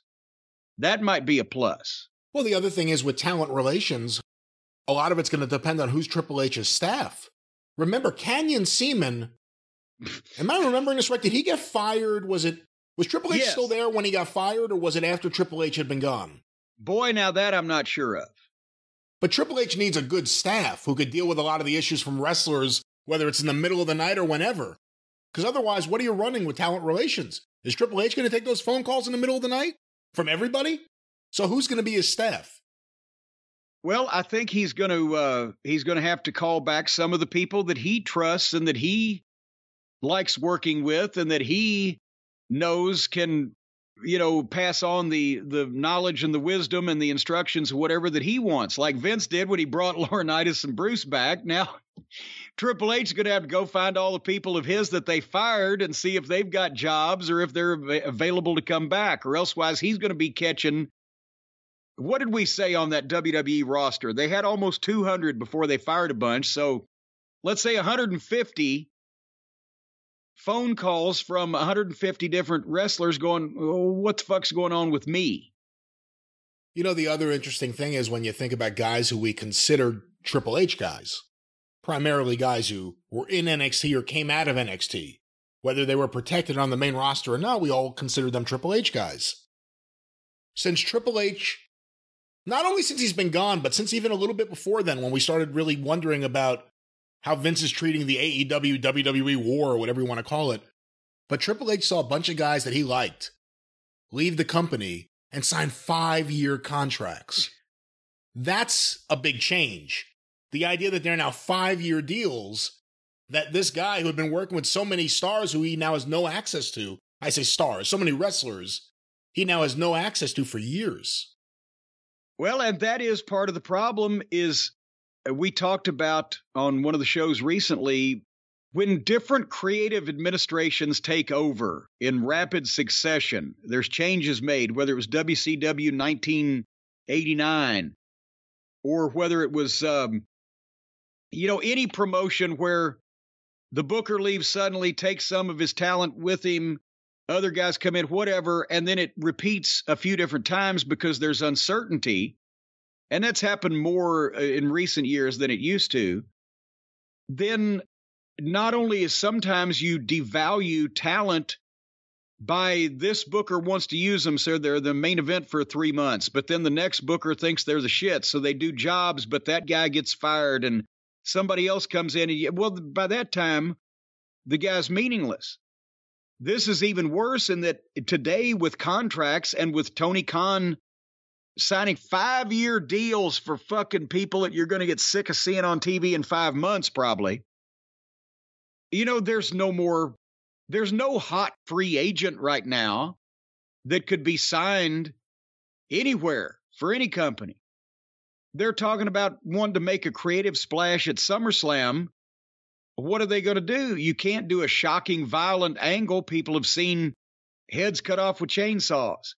You can't do, you know, any adult content with language or sex or whatever because of the, and I'm not saying you should even, but because the advertisers still, even if they go TV 14, it's not a creative splash unless there's something different, majorly different involving somebody people want to see, maybe in a new environment.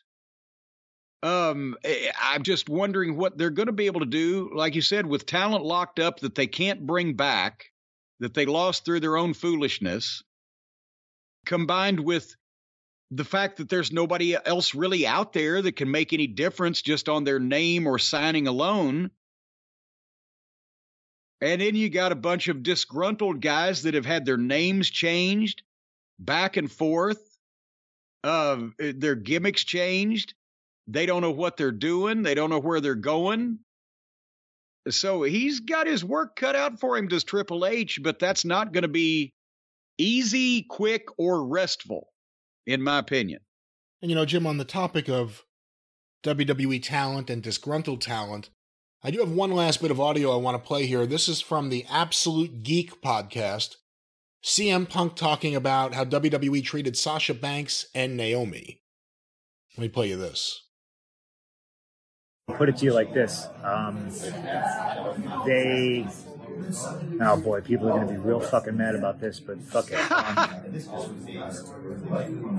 Mercedes and Trinity leave, and they announce on SmackDown that, gosh darn, we're so disappointed in them, and they really let our fans down. Uh, Brock splits, comes back. Obviously, I think he worked the show, but where's Michael Cole saying, "Man, Brock Lesnar really let these fans down"? I walked out. I walked out. They went on TV and they called me a quitter. What's changed? What's the difference? You're going to attack these two fucking poor women who just kind of had enough and they walked. They got bigger balls than everybody there. So what's changed? You know, there, there's nothing much that's changed. You know, and there's people that there's people that there's people that talk about it, and there's people that do it. You know, and the the people who lick the boots and had the audacity to go on live television and say that about those two women. Fucking cowards and bootlickers. That shit's ridiculous. Why didn't they do it for Brock? They did it for me. You know? No, it's none of my business. Great way to end it there. And of course, I'm thinking that the bootlicker he's referring to is Michael Cole. Well, I mean, just because his breath smells like kiwi boot polish is no reason. I will. I, I like what he said. I will uh, not take exception with, but uh, break down one thing. We don't know with Brock um, what the conversation was or what the actual statement was before he left, but I have a feeling that they knew they could probably, once he calmed down, once he cooled off, once they get Heyman on the case, whatever they had to do, they probably get Brock to come back to the building. He's still in town. He's answering his phone, whatever. I have a feeling that much like with uh, Naomi and Sasha, when Punk left the building that night, they knew there was there was no reason to waste a phone call. There was it was not going to be a an easily reversed situation. But otherwise, the, the point is well taken, though. It depends on who you are, how bad they need you, and whether or not they think you will come back. If they think uh, that was Vince's thing from Vince Senior, get the match in the ring do whatever you got to do to fulfill what's advertised or what your plans are, and then figure out a way to get even with the motherfucker later.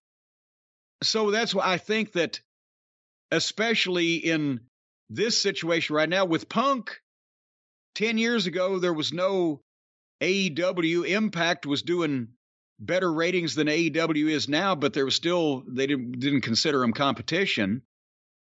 And they had a little bit more of a snooty attitude at this point, they knew with the injuries and the state of the talent pool in the business in general, and as you just mentioned, guys being signed up for five years across the street, you can't get them now anyway. They couldn't let Brock go anywhere. And let's face it, you know, Sasha has been a big star. Naomi was with her. They've never, neither one, been to the level of the star power that Brock has or the leverage he's got as a result of that. But yeah, let's also think about the difference in the things that happened. Sasha and Naomi got into some kind of argument about creative and walked out. With Vince. Brock Lesnar reportedly said, if he's gone, I'm gone, upset that Vince wasn't there and walked out. CM Punk, I think, called Triple H a doofus and said, You need to work with me. I don't need to work with you. And then I think he said also Vince started crying and gave him a hug right before he walked out. So there's a big difference in the way everyone left. Yes, there were there were uh, numerous differences.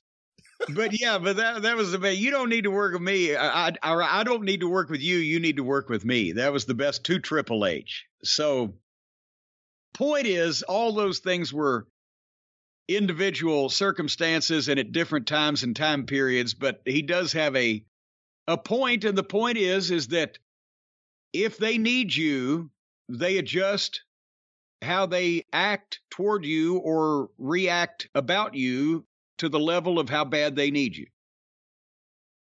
And uh, that's shocking, a shocking surprise. But you know, Triple H discovering sleep after all this time. And I told you he was one of the, he was the only guy in the clique that wasn't using artificial methods back in the days.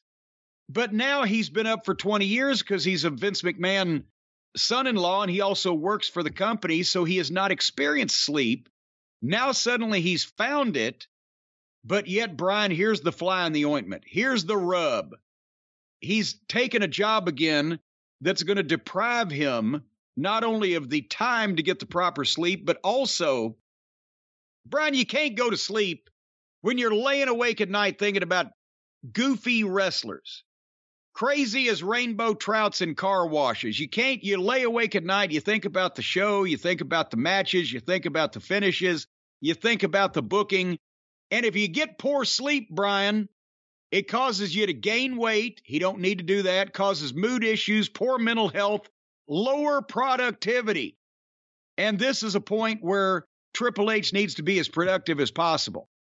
And you got to be able to boost those white blood cells because they're the ones that's protecting the body against illness and diseases and viruses and bacteria and raccoons and all the things that can go wrong. So, you know what we need to do, Brian? We need to send Triple H a big case of Beam's Dream Powder.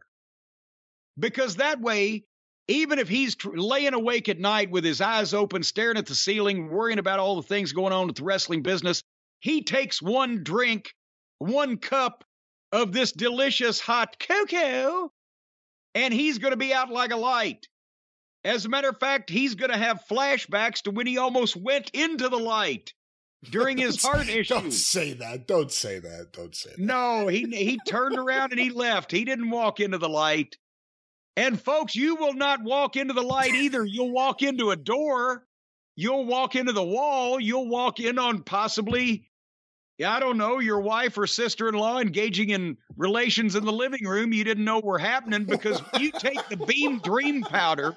What does that have to do with anything? You're going to walk into a lot of stuff. You're going to run headfirst in because your eyes are going to be closed because you're sleeping good, refreshing, peaceful sleep. Folks, I'll have you know that they have surveyed this, and 98% of the people surveyed fall asleep faster when taking Beam Dream. 99% of people experience better sleep quality, and 1% of the people ran for Senate in the state of Kentucky. We're not sure about what happened to them. But I'm telling you, just mix the Beam Dream into hot water or milk, gives it a little more body. You stir it up and enjoy it before bedtime within seconds. Your eyelids are getting heavy. You're feeling sleepy. Your limbs, your arms and legs are drooping.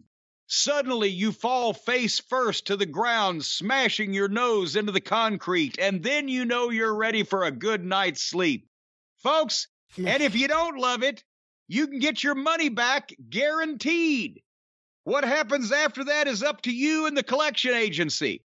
But for a limited time only, you can get $20 off when you go to Shop Beam. That's B E A M. ShopBeam.com slash JCE. Use the code JCE at checkout. Shopbeam.com slash JCE. Use the code JCE for $20 off. I'm telling you, Forbes is talking about it. The New York Times is talking about it. The Federal Bureau of Investigation and the FDA is talking about it. As a matter of fact, the ICE agents are talking about this. Some illegal beam was coming over the border. No, stop it. From You the know- Isle of Man. They had to shut that shit down. Only the the good beam from the folks at shopbeam.com. They were trying to make counterfeit beam.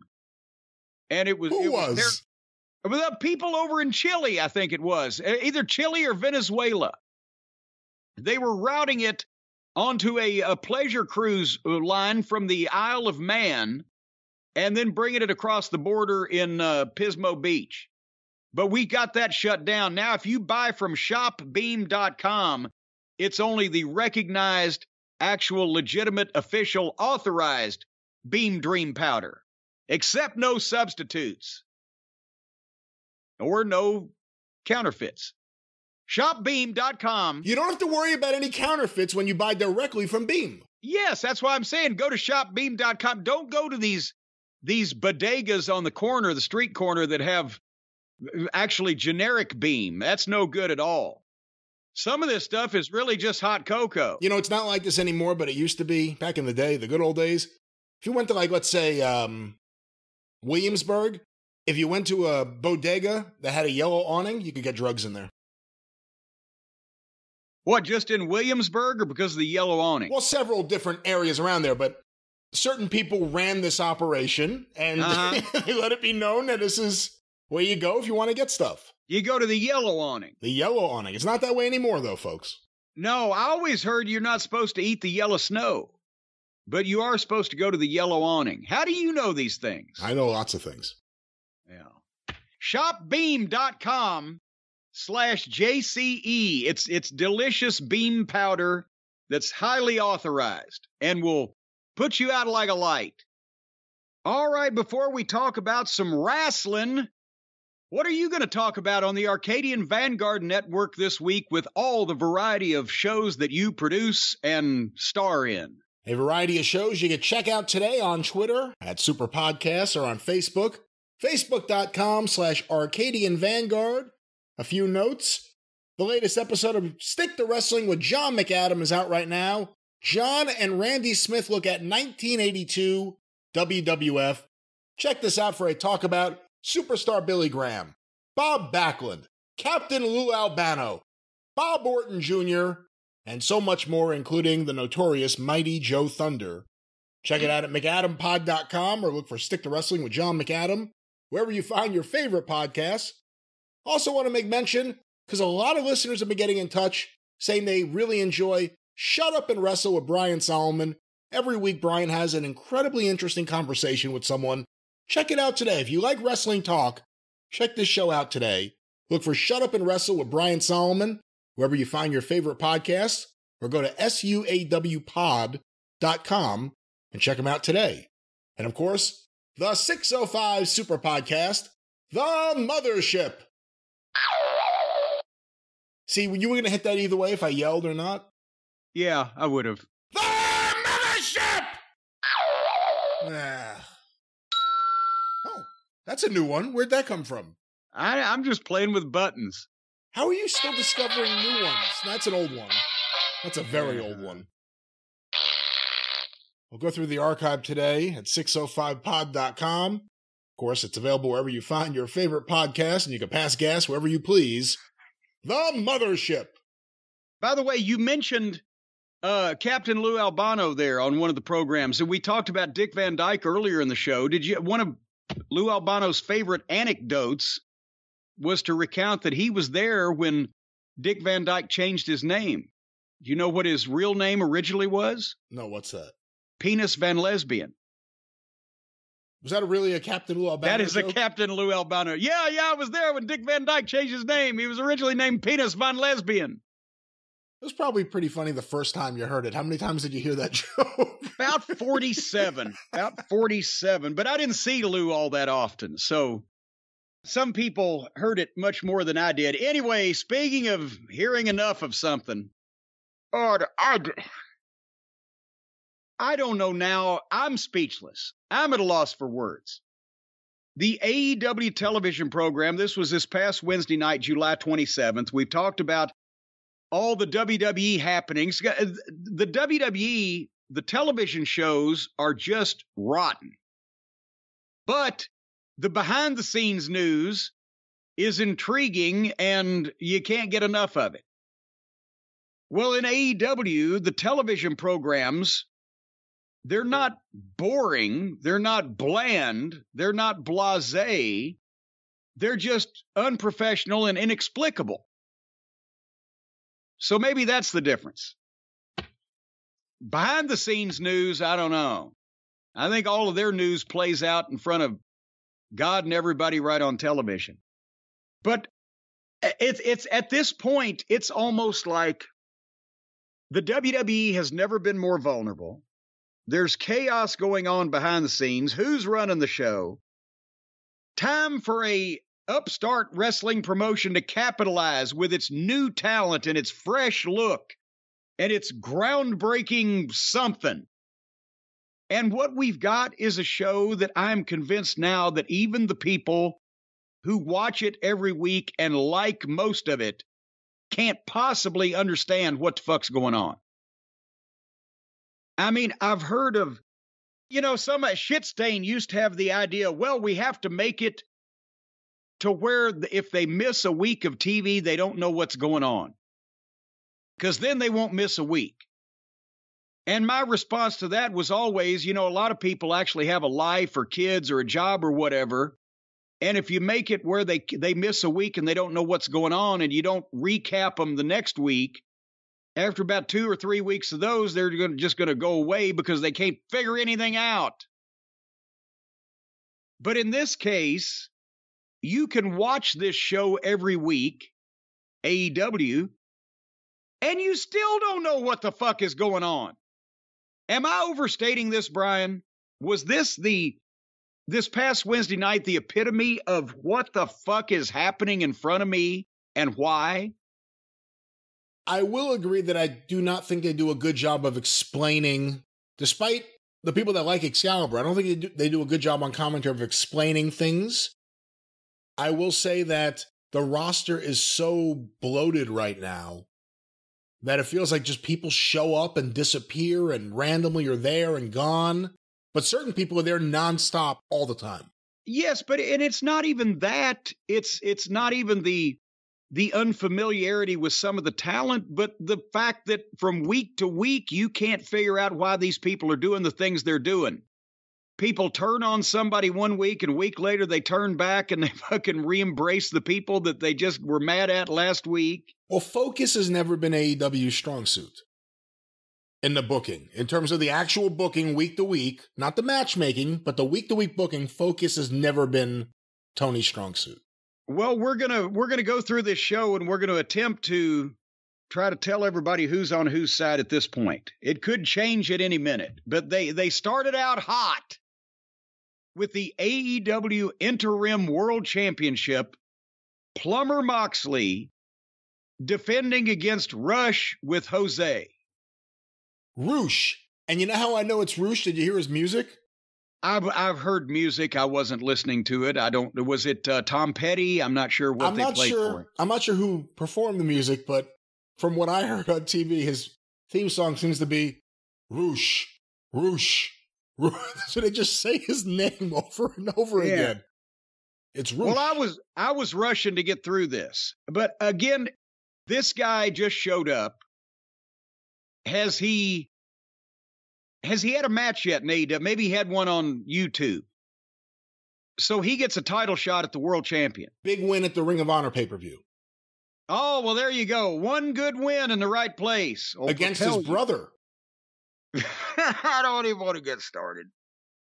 So, this was a situation where apparently Plumber Moxley's the babyface because even though he likes to drink blood and break bones and snap ligaments, the other guy had the manager. So, Rush does the jump start from behind and they go to the floor.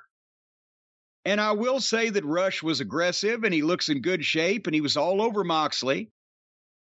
And they get back in the ring. And then they go back to the floor and Moxley is now bleeding. It took like three minutes. And they were on the floor It's forever. every match now with him. Well, yeah, but it, now you just have to. It's like, how long is it going to be before Jade Cargill says the word shit? How long is it going to be before Moxley starts bleeding? And after they were on the floor forever, he threw Moxley back in, and Moxley. Moxley retaliated for this beating by running, hitting the ropes, and diving back out on top of Rush. And then Mox beat Rush up on the floor and just buried poor Paul Turner, the referee. And then they get back in the ring and he beats Rush up in the ring. And then they trade chops. And then the heel takes back over. And all momentum was lost. And everybody just come to a halt. It's That's every Moxley match. They do the training know. chops, and then that happens. and also it's not there's no format to the match with him. It's just he's gonna somebody's gonna beat him up, then he's gonna beat somebody else, and they go back and forth. There's no set of heat and comeback or false finishes or hope spots or it's just back and forth.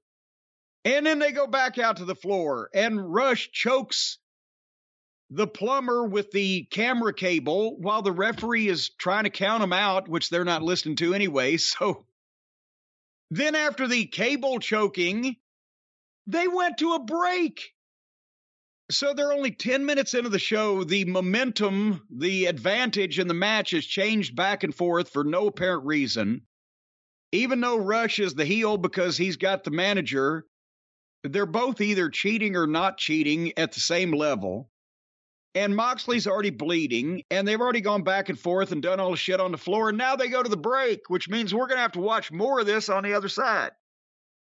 So we come back right as Moxley hits kind of a sloppy superplex, and then they both just lay there. There's no cover. He's not attempting to win. Then they get up and they trade forever again. And then when they've just beat each other to shit, then they started running wrestling spots at 100 miles an hour. And again, I'm thinking, am I watching this match backwards? By the way, the heel does the wrestling moves better than the babyface. So somehow, in all of this, Rush was going to try superplex, but Mox countered by biting his face, and he took a bump into the ring. Jose threw the tablet or the laptop or whatever in the ring and distracted the referee while Moxley is climbing the top or is on the top rope going to come off. But Moxley has to wait for Andre Oli Olio to come out to push him off the top turnbuckle. So Moxley is up on the top for like five or six full seconds. And it was one of those time standing still moments while the referee's with Jose, the tablet's in the ring, Rush is laying on the ground, and Moxley's on the turnbuckle, and nobody's moving anywhere. And then Andre gets there and pushes Moxley off the top. But then here comes the Lucha Brothers and Alex at 100 miles an hour, and they run Andre off out of the building. And somehow, during the period of time the chase scene is going on where they're running Andre out of the building, the camera missed it, so we don't know for sure. Moxley is the one that gets a two count on Rush. After he was just pushed off the top rope by the heel crotches himself on the top rope and falls into the ring, and the, the other baby faces come and run the guy out, and then Moxley's the one who gets two count on Rush. And then Rush takes back over. This match is going to keep going. And Moxley won't sell anything for any period of time past two seconds. But now they've done the fucking heel run in and the babyface save run in, and they're going to keep the match going. It would not end. And finally, Moxley hit his double arm DDT from just out of nowhere. But Rush kicked out of that, so Moxley turned over and got the choke on him and choked him out so they can make even a finish like that as flat as possible. Either win with your goddamn finish or don't fucking hit it and let the guy kick out of it and then just grab something else and win with that. Jesus fucking Christ. Fuck, he's rotten. Plumber Moxley, I trended for saying this, and a lot of people happen to agree with it, come to find out. He's the worst pushed wrestler in the world. And it's all the same. What'd you think of this fiasco? 20 minutes of this, by the way. It went on for a very long time. You summed up a lot of my thoughts. Uh, the one thing I wanted to point out again, because I always do, is just in the middle of the spot, middle of the match, there's no reason to do the trading chops or trading blows or trading forearms or any of that shit. In the middle of the match, it happens like multiple times a show now. I don't like Moxley's matches.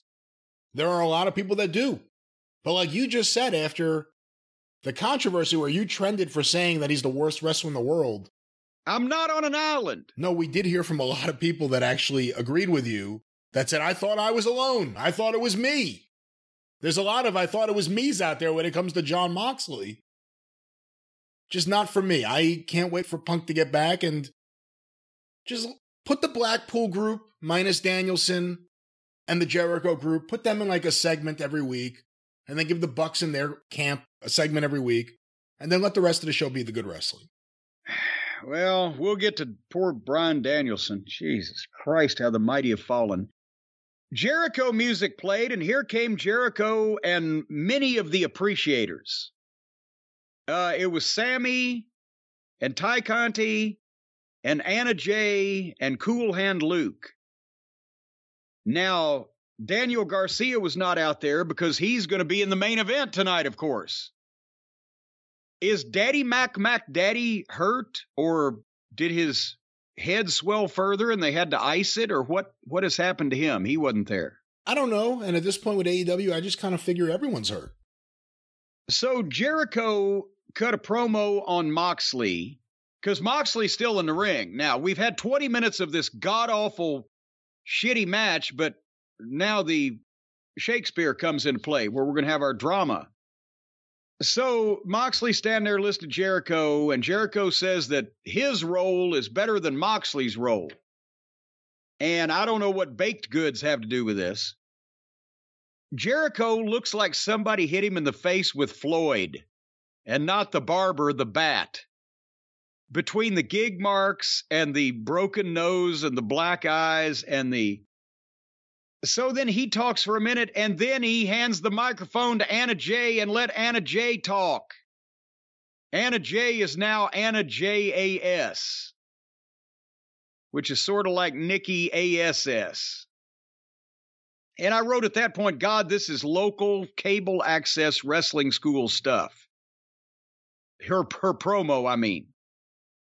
And it, I'm sitting there looking at Jericho standing there in between Sammy Guevara and Tay Conti and Anna JAS and Cool Hand Luke. And it looks like Chris Jericho doing an appearance on stage at a high school assembly with the maybe the, these are the honor school students that got to stand up on stage with him. So Moxley hates the sports entertainment and he answers Jericho and makes fun of his new gimmicks and his nicknames and his trademarks. That promo wasn't actually bad because actually, this is the best thing. It's two guys that we don't like that also don't like each other so they can knock each other and we can kind of enjoy that. But so eh, the gist of this whole conversation is Again, Mark booking. Moxley doesn't want the wizard. He doesn't want the the rock star wannabe that we've been getting lately. He doesn't say, I want the old Chris Jericho, the Chris Jericho that was the undisputed WWE champion, the Chris Jericho that main evented pay per view against The Rock or whatever the fuck. He has to go back. And he doesn't even say, I want the Chris Jericho from the early days of AEW. He says, I want the Chris Jericho from the Super J Cup. What the, not the Chris Jericho that drew mega money and was one of the biggest wrestling stars in the world 15 years ago. He wants the Chris Jericho from the Super J Cup 30 years ago. And not even the original Super J Cup, the second one. And, I mean, you know, hey, if he wanted any more from Chris Jericho, he'd have to be wearing a diaper and carrying a fucking rattle and drinking out of a baby bottle if he wanted him to go any further back. But he doesn't want the guy, the Chris Jericho that was a big star. He wants the Chris Jericho off of tape that he watched in his basement when he was fucking homeless in Cincinnati or whatever. Well, that wasn't the big one. It was all about I want the last survivor of the Hart Dungeon. The last survivor. That I was about to say in the last line. I want the last survivor of the Hart Dungeon. Chris and Lance went to train with the Hart boys. They didn't train with Stu. They didn't train with the Harts. Isn't a story that well, one yeah, of the Harts showed up on the first day and never showed up again? yeah, that the Hart What was it, Bruce? It was Bruce Keith. that started the training camp. Okay, one of those two, yeah. Bruce or Keith started the training camp, and then Chris and Lance both went from Winnipeg or wherever the fuck they went from and showed up, and I think they saw a Hart brother a day or two, and then it was they ended up teaching the class that they were in. They ended up being the instructors because they were only two that looked like they could stand up without help. Wouldn't Teddy Hart be the last survivor of the Hart Dungeon? Terms of wrestlers and age and who would have actually been there? I, I think they're still waiting for the results of the DNA test before they claim Teddy. Harry Smith, maybe? Harry Smith, there you go. But the point is, no, Chris didn't survive the dungeon because he wasn't in the dungeon because the dungeon was closed to all but intermittent family members at that point. But so this whole thing, that was the first 30 minutes of the show. And apparently we're going to have to watch because Punk's not going to be ready for all out or all in or whatever happens Labor Day weekend in Chicago. We're going to have to see the plumber against the trademarker. Maybe. If well, if either one of them lasts that long, they've well, still got what a little over six weeks. They set up an angle, or they did an angle to set things up on Rampage, which I know you didn't watch last night. For some reason, I decided to watch it. You need to watch the show; it's so bad. You need to watch how bad it is. It's really I've, bad. I've I've figured that out before. That's why I don't watch it. I don't need to watch it to figure out that it's a rotten program. Apparently, they're setting it up so Jericho, I think Wednesday, is going to go up against Wheeler Yuta, and the winner of that match gets Moxley. Oh, good. Because Lord. there's the intrigue of Yuta's had several other matches with Moxley. Yuta, who one of the listeners got in touch and said he sounds like Ben Shapiro on the mic, and he really fucking does. At least it's not Ben Stein, but go ahead. But he's kind of over with some of those fans there, but they're going to do that apparently. Him against Jericho, leading into whoever wins, and you got to think it would be Jericho, but at this point, you don't know what the booking there. Him. I have the feeling Jericho's not going to be doing a job for Wheeler Useless. If Tony get if Tony gets him to do a job for for Wheeler Yuta, you almost got me saying the wrong name now. That would be the most impressive job as a promoter and booker that Tony's ever done.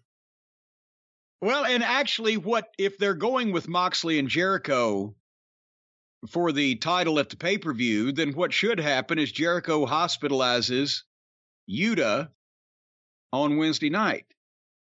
I've been trying to remember where we saw it most recently, and I can't remember. And it maybe have happened more than one time, but the whole I don't want you. I want the 1985 version of you. I want the version of you that used to eat wood. I want the version of you that likes bugs. Like, we've seen this several times, and I can't remember who did it recently, but we've seen this several times. Yeah, you know what that does? That points out to people, yeah, that. It, 20 years ago, that guy's a lot better than he is now. He's a shits right now. No wonder he don't want to wrestle that guy. He wants to wrestle a guy he was 20 years ago. But guess what? He's 20 years older. So I guess he's just the shits. I always like to point out the flaws in uh, in my pay per view main event as a booker, as a promoter. I always like to point out the flaws in those people that are in the match that's supposed to sell my tickets and draw me money. Can I say one more thing? I wish you would. I'm really happy that Anna Jay is getting a shot. Despite whatever you think, out of all the women there, she's been athletic. She seems into everything she does. She's not perfect. And of course, she came out of QT school. She didn't come out of Tom Prichard school or anything. But she has shown a lot and she's young. So I want to talk directly to her. That guy is going to tell you a bunch of really bad advice. Don't listen to it. Seek out someone else, whether it's CM Punk when he comes back, Seek out anyone else. Don't listen to Jericho. It'll be a disaster. That's all I want to say.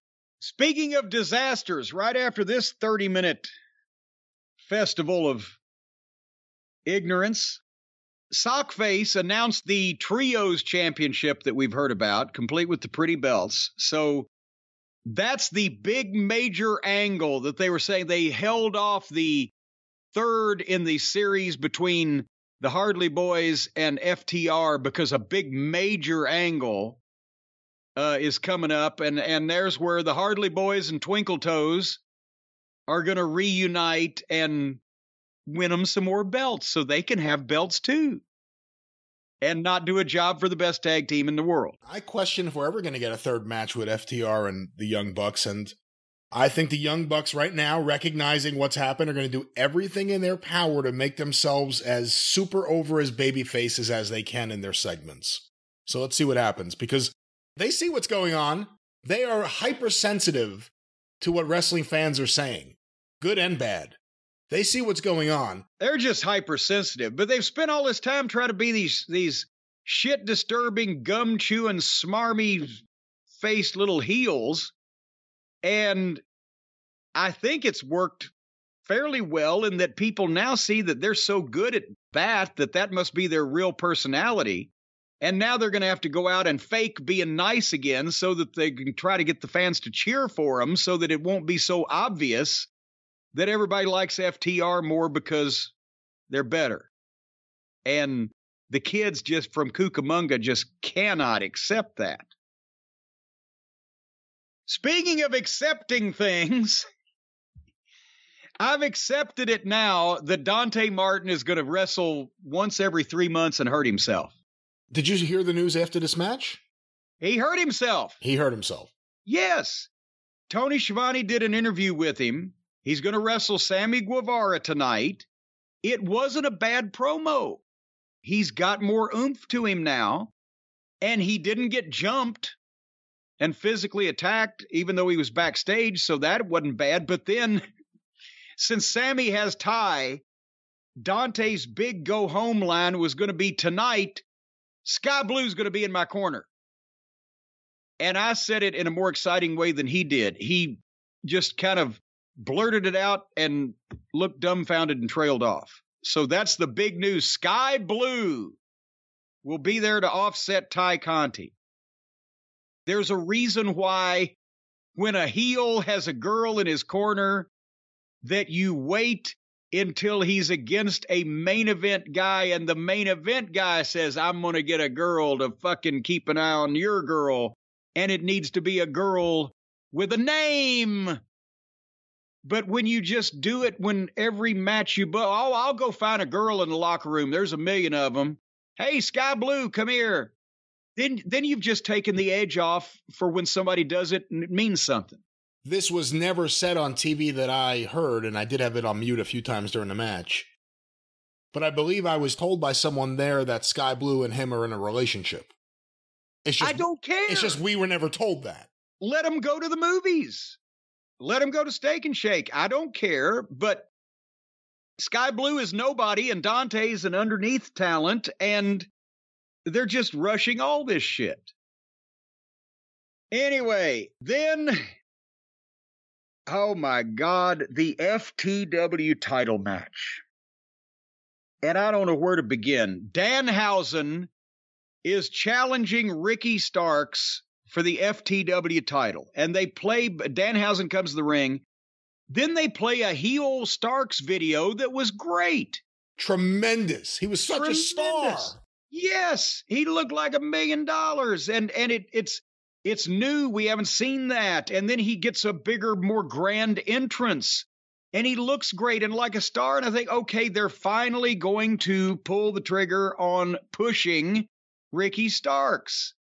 The only problem I had was it makes it silly that he's wrestling Danhausen, but at least, you know, we've got something. He's finally, Tony Khan has finally realized I don't need Daniel Garcia on fucking TV every week. I've got Ricky Starks. I could put him on TV every week. People would actually watch. And I thought that for about three more minutes. So Danhausen curses Ricky Starks, and Starks responds with a big boot. But then he walked into Danhausen's boot, and then Danhausen gave him a Northern Lights suplex. And I wrote, What are they doing? Danhausen is getting offense. I thought this was going to be okay. People like Danhausen, so when Ricky Starks beats the shit out of him in two minutes, it gets Starks over, and those people are pissed. Well, suddenly Danhausen is kicking the shit out of Ricky Stark. Danhausen doesn't know how to do a schoolboy. Did you see the schoolboy? I saw the attempt. The fuck? And he got a two count on Starks with that. And finally, Starks comes up, hits a spear, boom, one, two, three. And I wrote, what the fuck is this that started out so good? Here comes Starks. They've got the video, the music, the entrance and he's selling for Danhausen, and then so then he gets the microphone and does the promo again like last week. I've got more gas in the tank. I want another challenger. The only difference in last week was this time when he said that they paused 10 or 15 seconds before playing the music. They're listening. Because at least, well, I want another, send somebody out here, and nobody comes at it. Come on you make the heel you force him to go come on it looks like it's impromptu and unplanned somebody has to have the guts to come out here and then you play some music and somebody comes out it's just a little thing but however having said that the music plays and here comes hook now let's recap this brian stop me if i misstate anything Taz is the leader of Team Taz, right? And on commentary here, yes. And on commentary here. Ricky Starks is a member and has been of Team Taz since the inception of Team Taz.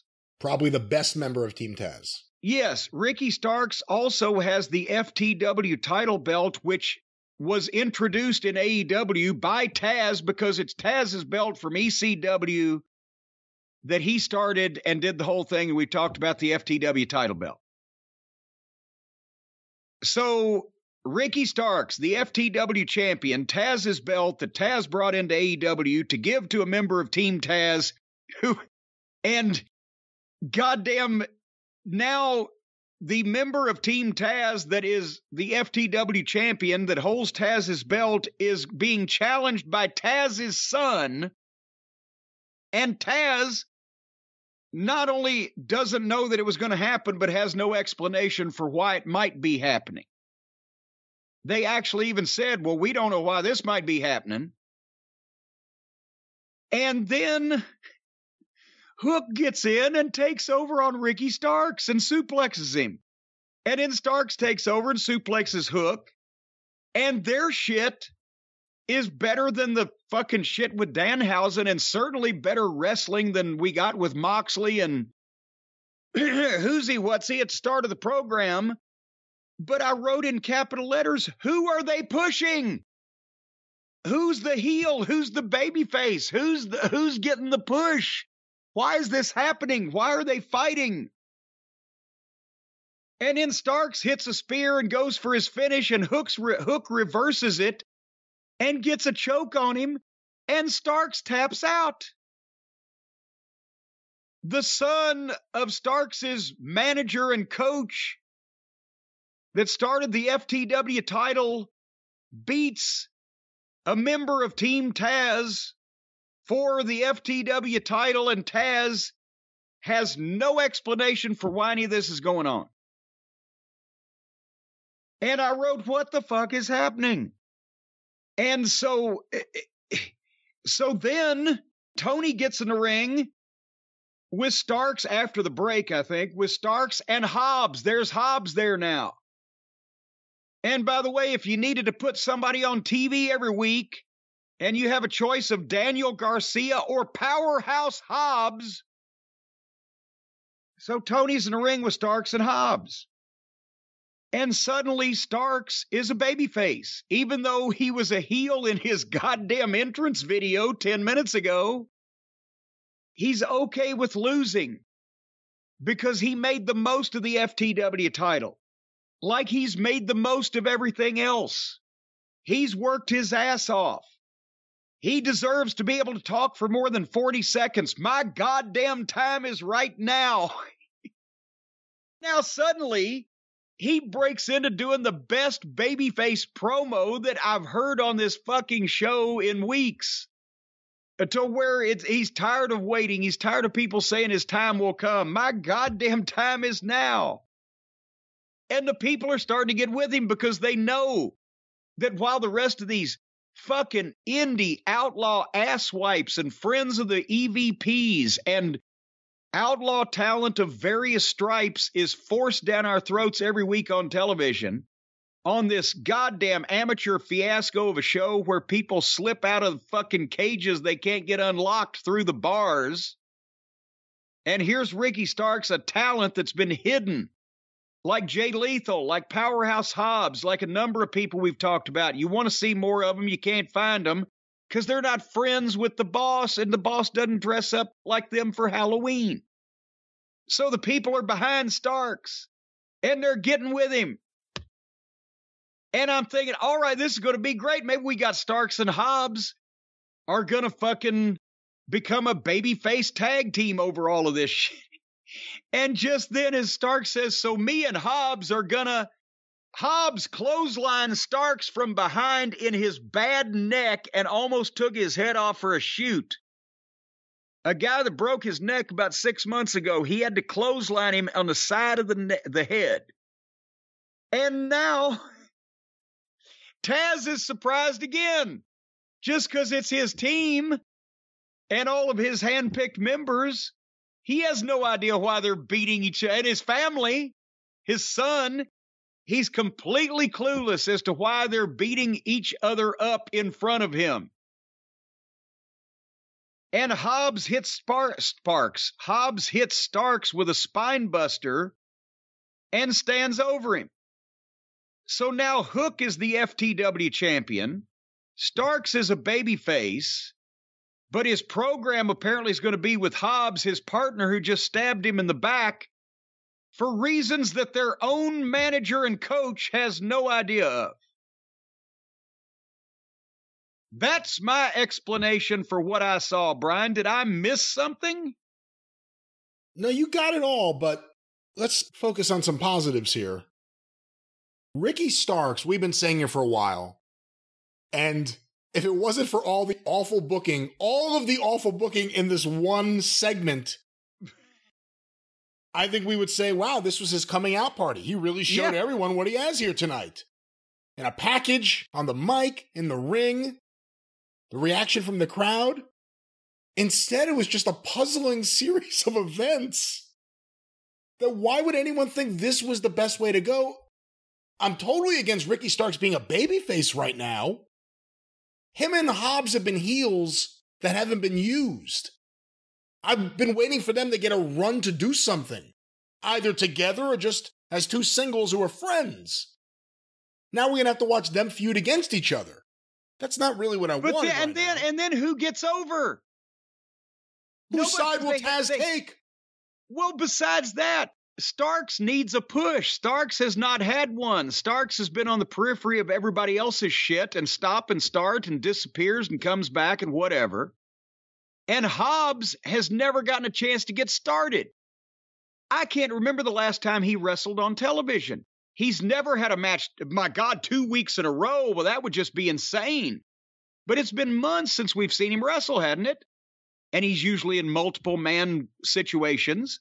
So now you've got two guys, whether they're baby faces or heels, and both guys have been both. Remember, Hobbs started as a baby face with a sad story about seeing his brother get murdered. Then two weeks later, he switched heel. But I, I, I think they're both great heels. But they both need a push. They both need wins over people on television. They both need some kind of coherent strategy to elevate them to be bigger names. And none of this is it. Because if they're wrestling each other, one guy's going to come out on the losing end. That's why you don't put people that you need to get both of them over against each other.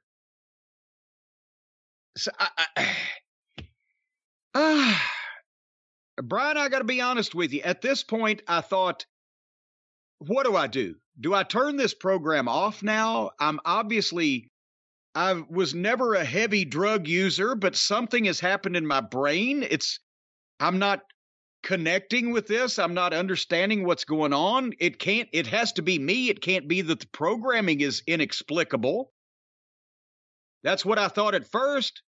But then you know what I did? I called somebody. And they told me, no, it's not you. The programming is inexplicable. I just needed somebody to talk to because you got to take care of your brain and your mind. For most people, it's the only one you're going to have. And when you're watching stuff like this that's just visually off putting and mentally stressful, you got to talk to somebody to make sure that it's not you, it's indeed the wacky situation that you've been observing. And that's what the folks at BetterHelp can do. They can talk to you, they can they can perk up your brain, they can make you realize, "Hey, you're not in this all alone. We feel the same way." That's what you got to do. Eh, how we care for our minds and ourselves in affects how we experience life, how everything that we do goes. So, supporting a healthy brain, you can take power naps. We know about good night's sleep, but you can also learn a new language. You can learn to speak to the natives in AEW in their own particular, peculiar language and their strange customs and habits. Or, I'm telling you, go out there and, and see them in the wild. about? The AEW wrestlers in the wild, they have weird customs and strange habits. They eat a variety of loathsome living creatures. But uh, but you know it's all part of the global culture, and that's how you expand your mind. And you can call the folks at BetterHelp if you have to watch this program, and you'll say, "Is it just me?" And they'll say, "No, it's not just you. Everyone feels this way, and they'll make you feel better." Because BetterHelp is online therapy that offers video and phone and even live chat only therapy sessions. So you don't have to get on camera. You don't have to go out in public. You don't have to sit in front of anybody if you don't want to. You can talk to them on your terms, remotely, or in the case of my terms, not at all. I find it's easier if I don't talk to people. But a lot of people need to talk to somebody. And if you do, BetterHelp is there. It's more affordable than in person therapy. You can be matched up with a therapist in under 48 hours. And these folks aren't just, you know, local yokels from the Kmart. They're licensed professional therapists. They know what they're doing. They can take you apart and put you back together again.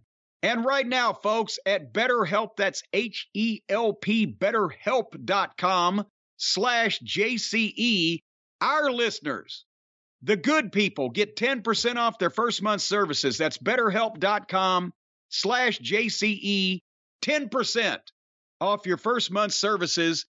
And you actually schedule your phone calls or video chats for Thursday morning. That way, you watch this show on Wednesday night, you make notes on what you didn't understand, and you have a therapy session on Thursday morning, and they can straighten you right out.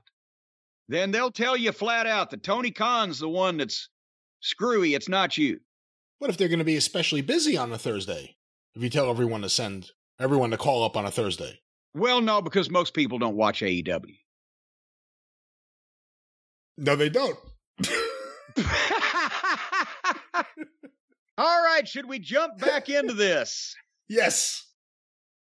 Sammy Guevara and Dante Martin with Tay Conti and Skye Blue and and I guess her tag team partner C Green.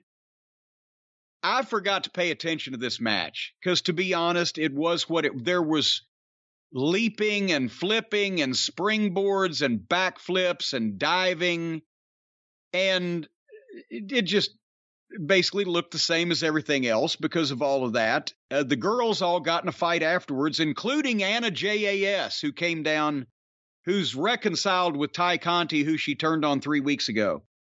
And um, the takeaway from this is Dante does a springboard off the apron onto the top rope, then jumps from that rope to another rope then does a backflip off that rope and is supposed to land on his feet so that Sammy can jump up from the other apron to the top rope and jump off backwards and hit him with a cutter of some description. Brilliant spot. And uh, I saw that in the 72 Olympics. Olga Cor- Korbut and Nadia Comaneci did a tag team fucking uneven parallel bar and used that spot.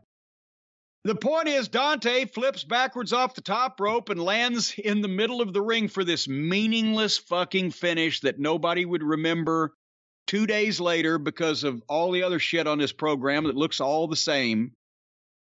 And he lands it, he hurts his knee. And then he staggers over, and Sammy jumped backwards off and caught him in an approximate cutter, but because Dante was off balance and had already hurt his fucking knee or ankle or what was it the knee or the ankle?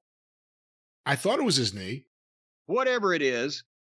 So when when Sammy gives him the cutter, it almost he almost landed on the leg that fucking Dante had just hurt because Dante couldn't throw himself forward. His leg was bent up it. The point is, it was a goddamn monkey fucking a football. And now this guy's hurt again. He nailed perfectly three or four death defying leaps to the top rope and flips outside and everything. And if he'd done half of that number, it might have been great and showed that he was exciting without taking it into the level of the phony gymnastics that everybody else does. But instead, he's got to do all that shit and then try to do that fucking finish and hurt himself. I don't blame the guy he's trying to get over. I blame the people that are not teaching these guys how to get over and how not to do ridiculous shit that is too much risk reward ratio off the chart, whatever the case, and how to make them remember it. He did five spectacular things, hurt himself on one of them. If he'd have done two that he could do perfectly, he had to, he'd have two more that they hadn't seen that he could do later, and he wouldn't have hurt himself. And at the at some point, he could try to learn how to wrestle in between jumping and flipping so that he'd stay over once he gets over with the jumping and the flipping. So now Dante Martin's out of commission for flipping off the top rope and landing on his feet. And then they did a parking lot pre tape. Remember, I mentioned we sure would like to see Jay Lethal on a weekly basis, like we do Jericho's Stooges and the rest of these fucking outlaw dipshits that Tony Khan wants to adopt and fucking give them his inheritance. You think Daniel Garcia will be starting a new wrestling promotion in 20 years because old Tony Khan will say the same thing to him that Tony's dad said, I'm just going to give you your inheritance now so I can see you have fun with it while I'm still alive? When do the adoption papers get finalized with Tony and Garcia? I don't know. So there was a parking lot pre-tape. Lethal and Dutt and Zippy the giant pinhead had an argument with the Puddin Gang and Pockets.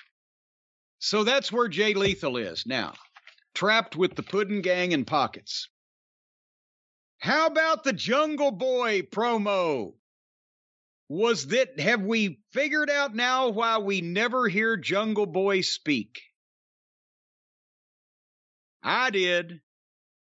I thought this is the best thing he ever did on Are the mic. Oh boy, well, it- well, the best thing that's like being the nicest guy in prison.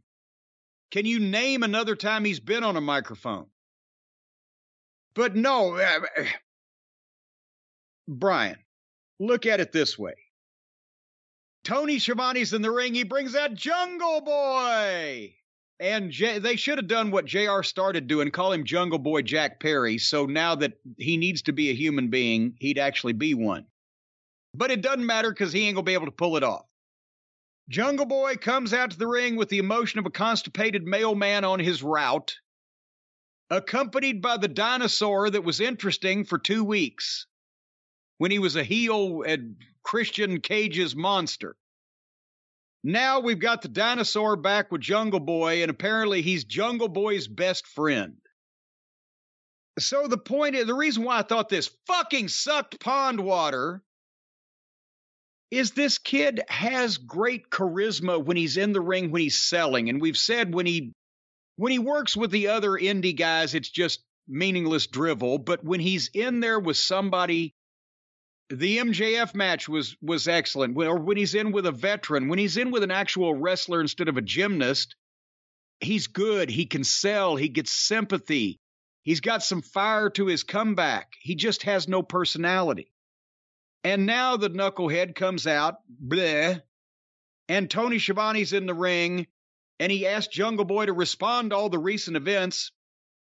Jungle Boy snatches the microphone, and Tony just walks off and Jungle Boy starts screeching. I can't even call it screaming because it was screeching.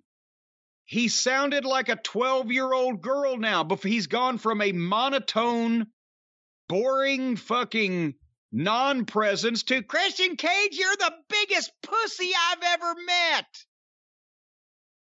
It was not a flattering tone for the supposed babyface to take. He sounded like a fucking teenager pissed off over his stolen video game. No wonder he's never shown emotion before if this is what he does when he's trying to show emotion. He had written down what he wanted to say and he had memorized it, complete with choreographed facials and gestures that he made at the same time while still putting no meaningful inflection into his material. Uh, He was either screaming or talking. He studied the script and he gave a stiff, memorized recitation of same. And to make sure that everybody knows that he's finally lost his cool and he's gotten mad, because before you couldn't make him mad.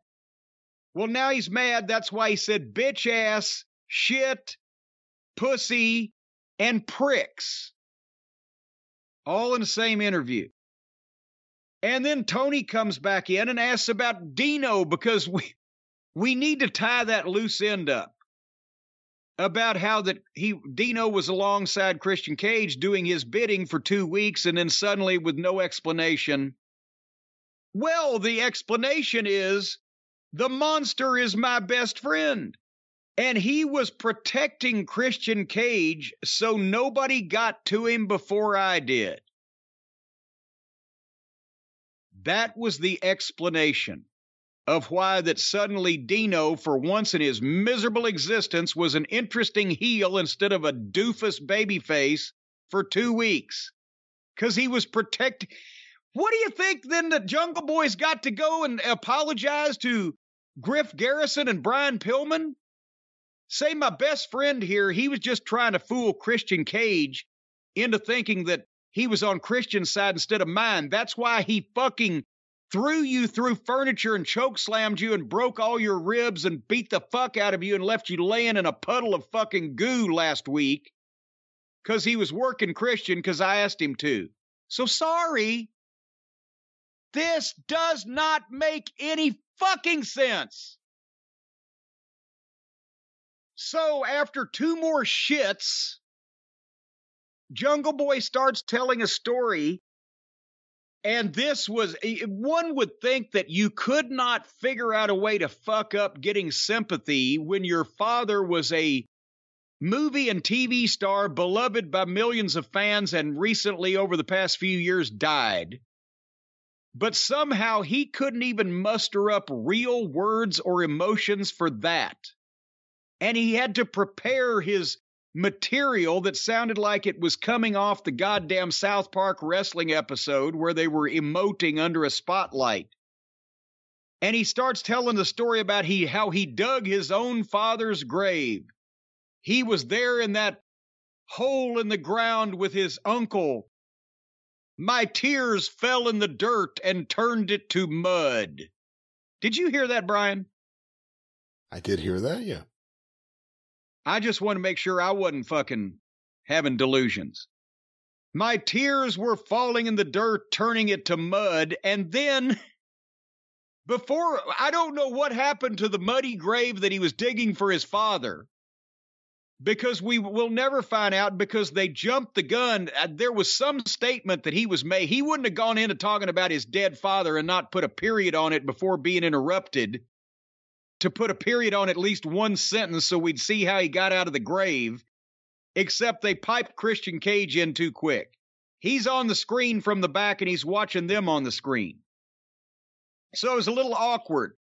And he had to say, hey, hey, hey, can you hear me? Maybe his sound wasn't up in the arena. I don't know. But finally, he breaks in and he says that Dino made a mistake and that the reason why Christian, he says, ran last week is so he wouldn't hurt Jungle Boy, but now he's going to bury him next to his dad. This was already rotten, and it was getting a lot rottener.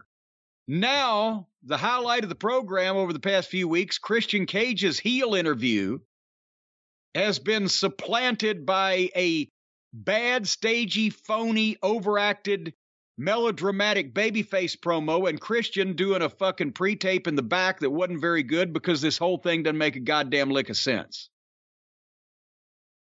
So, Christian Cage with Dino, I think would have worked. I think Christian Cage was doing great heel promos, and we know he can work, and his shit makes sense.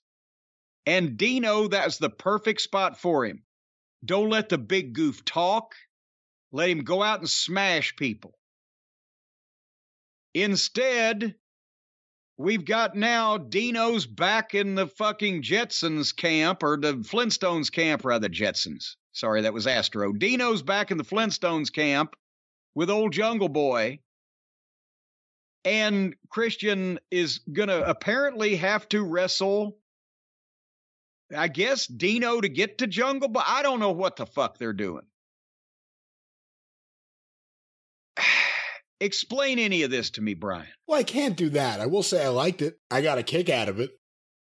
I don't think Jungle Boy was nearly as I don't even know what to call what you did, screeching or prepubescent sounding. I don't think that it came works. across. I don't think it came across that way. Now he did immediately call him a pussy, so right away you're like, oh wow, let's see where he goes. And he was going for a little while, and I agreed not all the material was good, but it was the most fire we've seen from him. It was fake fire, though. It's not real. He's acting. It's obvious. I started howling with laughter, though, while he was talking about burying his father. That's when Christian Cage cuts in and he's just standing there. Now, Jungle Boy has pointed out that Christian's going through a divorce, that his wife should call Jungle Boy. Christian just no sold all that and he was just ready with his own insults. I got a kick out of it. But as good as Christian was those first two weeks, and he was still good here, it's just now what should have been drawn out better, what should have been booked out better, planned out better. Everything's just kind of happening. I mean, look at the Ricky Stark segment. And then look at this. It's like, okay, here's like four months worth of stuff. Let's just do it all tonight. so I don't know what they're doing here. Uh, so you're, you're then, right, though. The Varsity Blondes, who apologizes to them? And he was Yeah. going to protect Christian Cage so no one else could get to him. Who was going to try to get to him? You're the only one who really hated him, Jungle Boy. Yes, and he hasn't wrestled against anybody else besides the the varsity blondes that he never tagged in until they were decimated by the fucking giant fucking lizard. Uh, the next uh, segment was the Hardy Boys in the parking garage with their their little mascot Brian Cutlet. Brian Cutlet, Brandon. Cutlet, Brandon Cutlet. Sorry, I didn't mean to Don't do that. Yeah. slander your name. No. So the the bland, tasteless piece of white meat that does their camera work, cutlet. And they're talking about the trio's title because they're walking in the parking garage and suddenly they see Hangman Adam Page.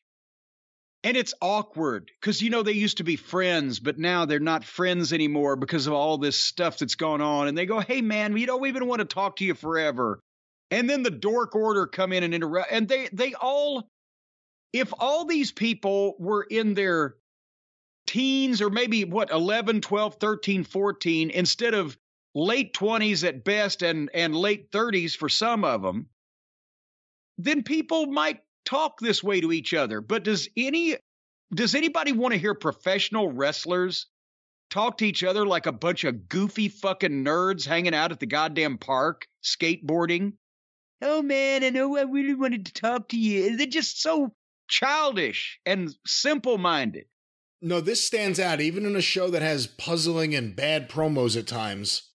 The stuff with the Bucks, it's like, I mean, I hate to jump on what you say because people just think you're ripping on them, but when you see shit like this and you use the word junior high school, there is some validity there. Yeah. That's what this seems like.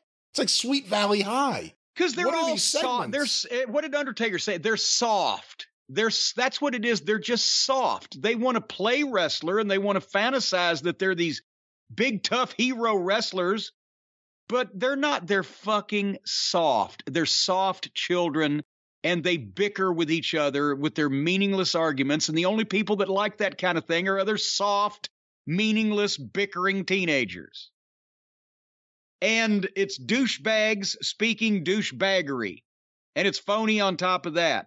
But they're setting themselves up because they'll bring fucking Twinkle Toes in, and they'll be the six man tag team champions, so they can all have belts and take pictures with them and play Twitch, play Twitch with them. Do you play Twitch or do you run Twitch or get on Twitch? What do you do with Twitch? Gene Anderson had a Twitch. It came from a stroke. You broadcast, you broadcast on Twitch. You don't use Yeah. Well, I guess you could say you're using Twitch, but hey, look, this is what they want. They'll get their Kenny back. They got Adam Page and the Dark Order. Let them have their segment where they all play with each other. They'll have the six man belt, so they'll have belts. They'll feel good about themselves. They'll have Kenny there with Adam Page. They can work on some teenage melodrama that will turn them into big baby faces, get the reaction they really want. Good for them. Well, moving along more more swiftly.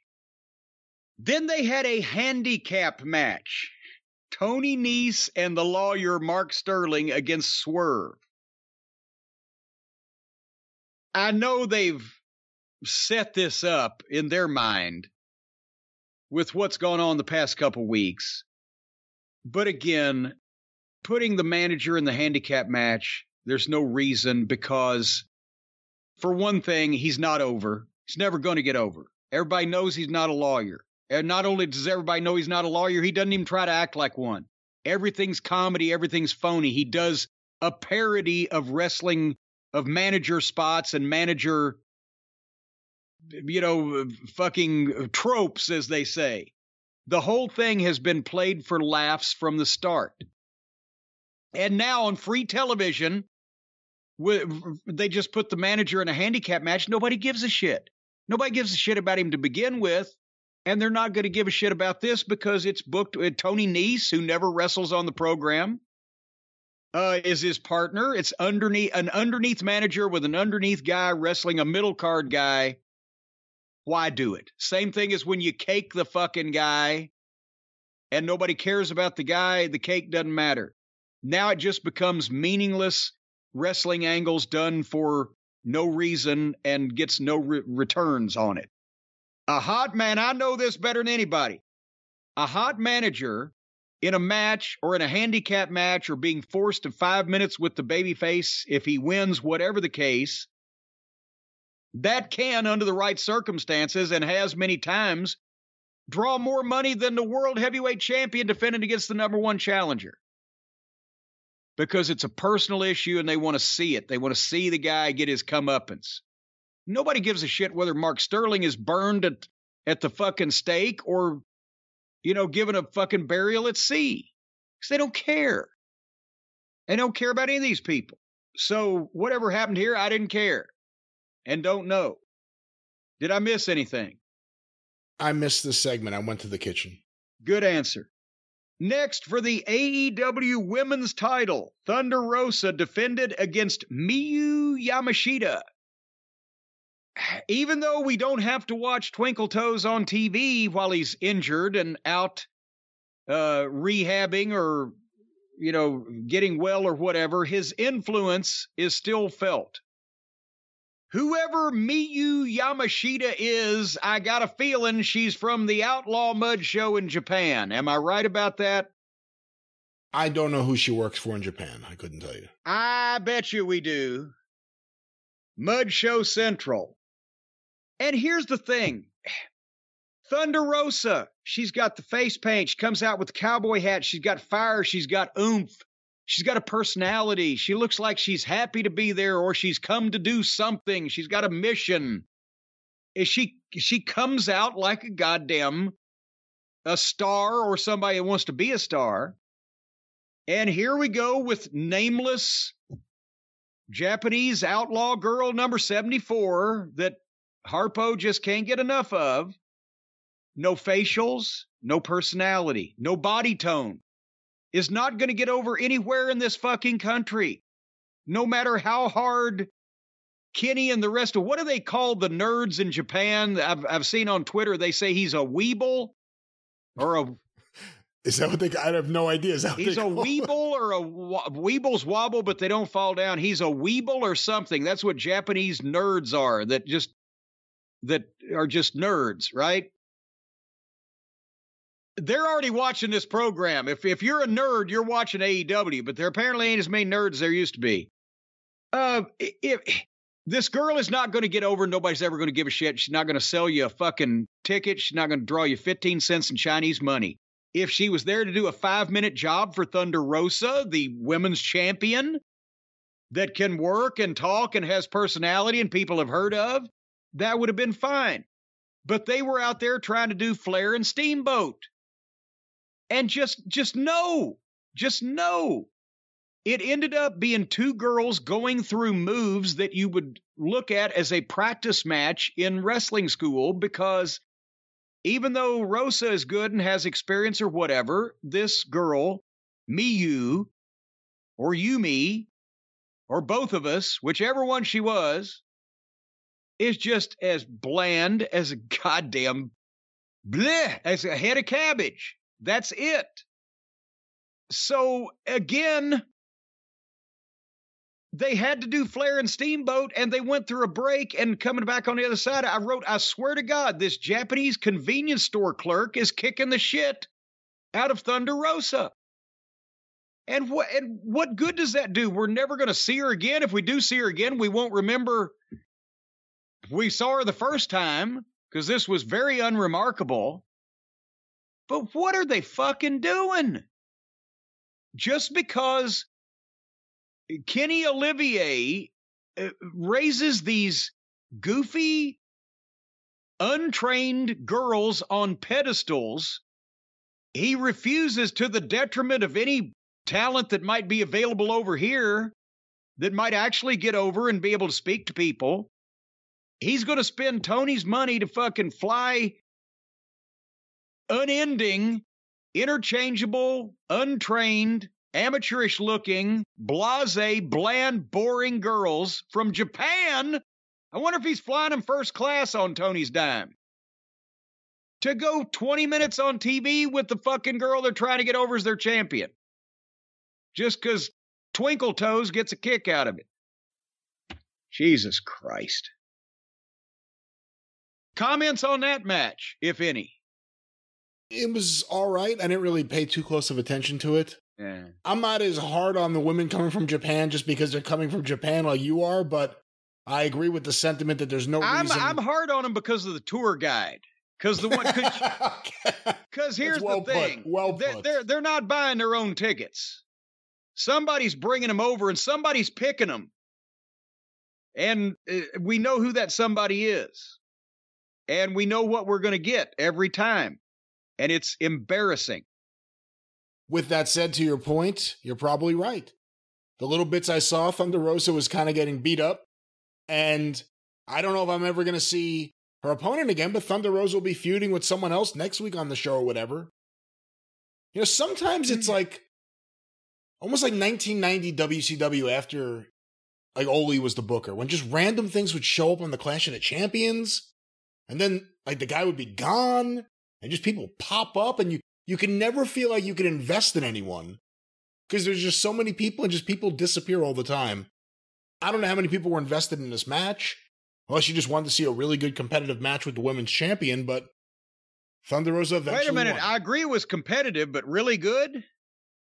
Well, okay, I shouldn't have said really good. If I said it there, They was, uh, did all the moves.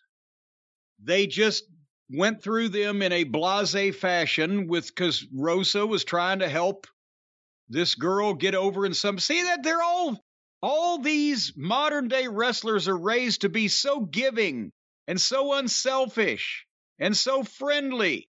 That's why nobody gets over.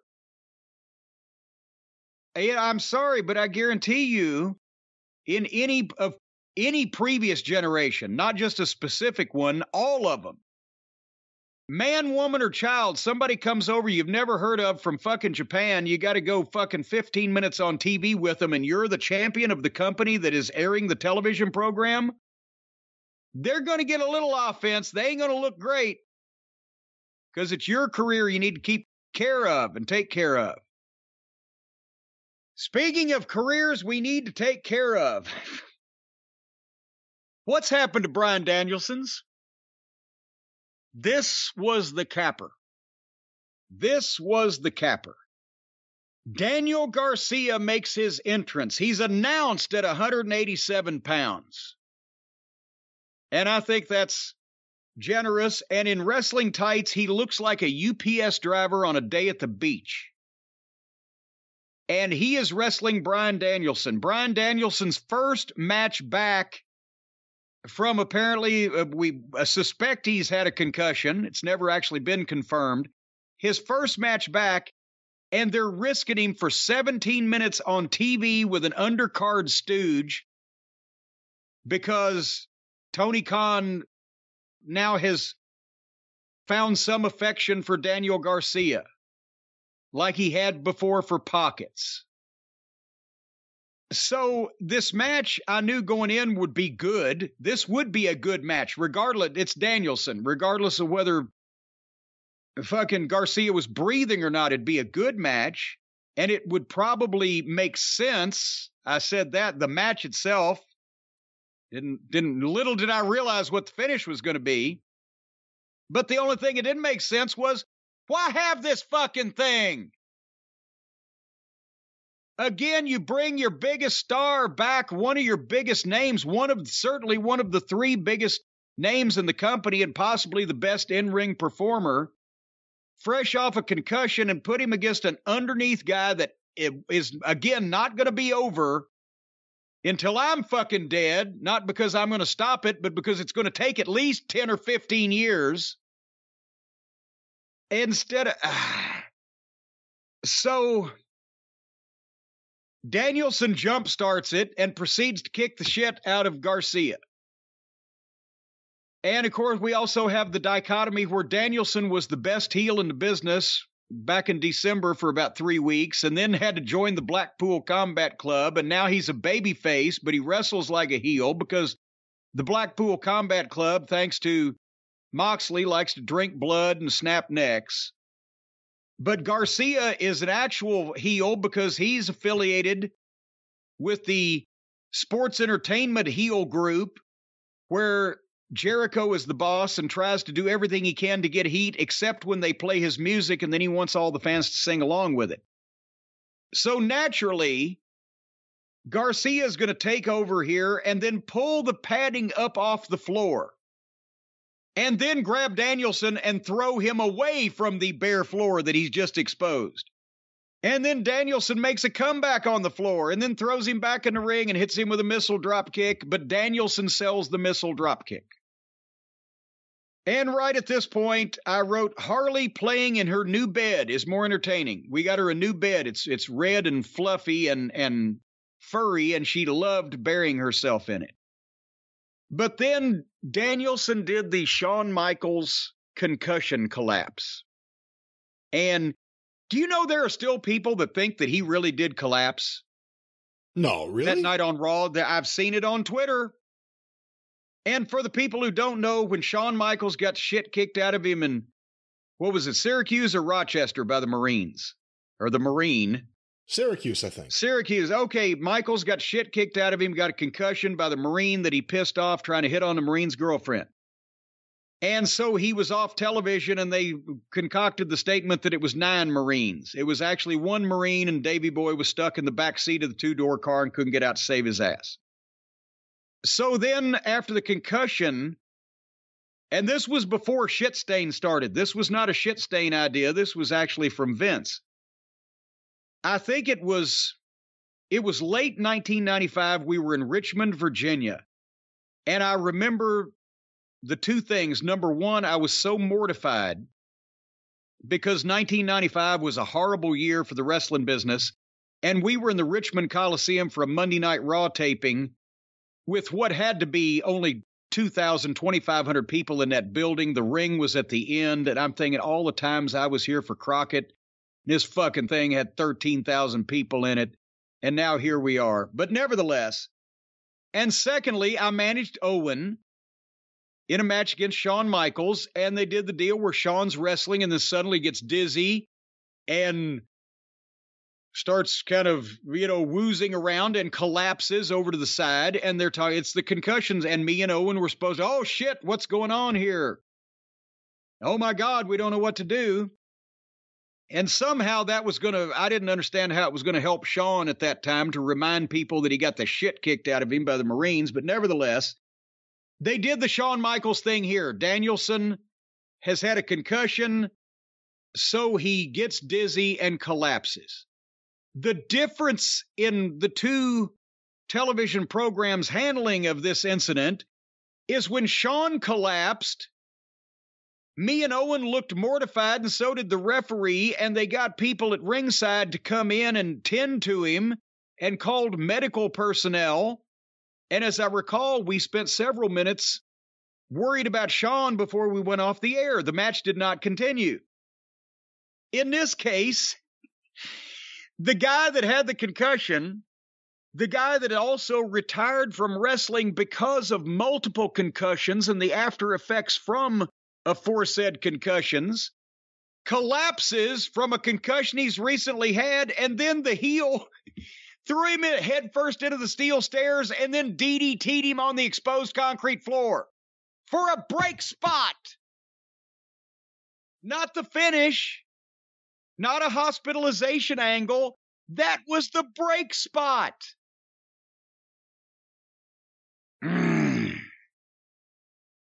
So when we come back, Danielson was bleeding. Of course, Moxley did it first in the same program, but now the guy who could be his career could be ended with one more concussion has been has collapsed, then run headfirst into the steel stairs, then DDT'd on the concrete floor, But two minutes after they come back from the break, he's giving the heel a belly to back suplex off the top rope. Then they started going back and forth. Multiple false finishes. Danielson goes for the LeBell lock. Garcia escapes. Danielson hits his knee on the floor. And as he's rolling back into the ring after he's thrown Garcia back in, a hand from under the ring grabs Danielson's leg. And he turns around to pull loose from that. And when he turns back around, Garcia hits him with a pile driver.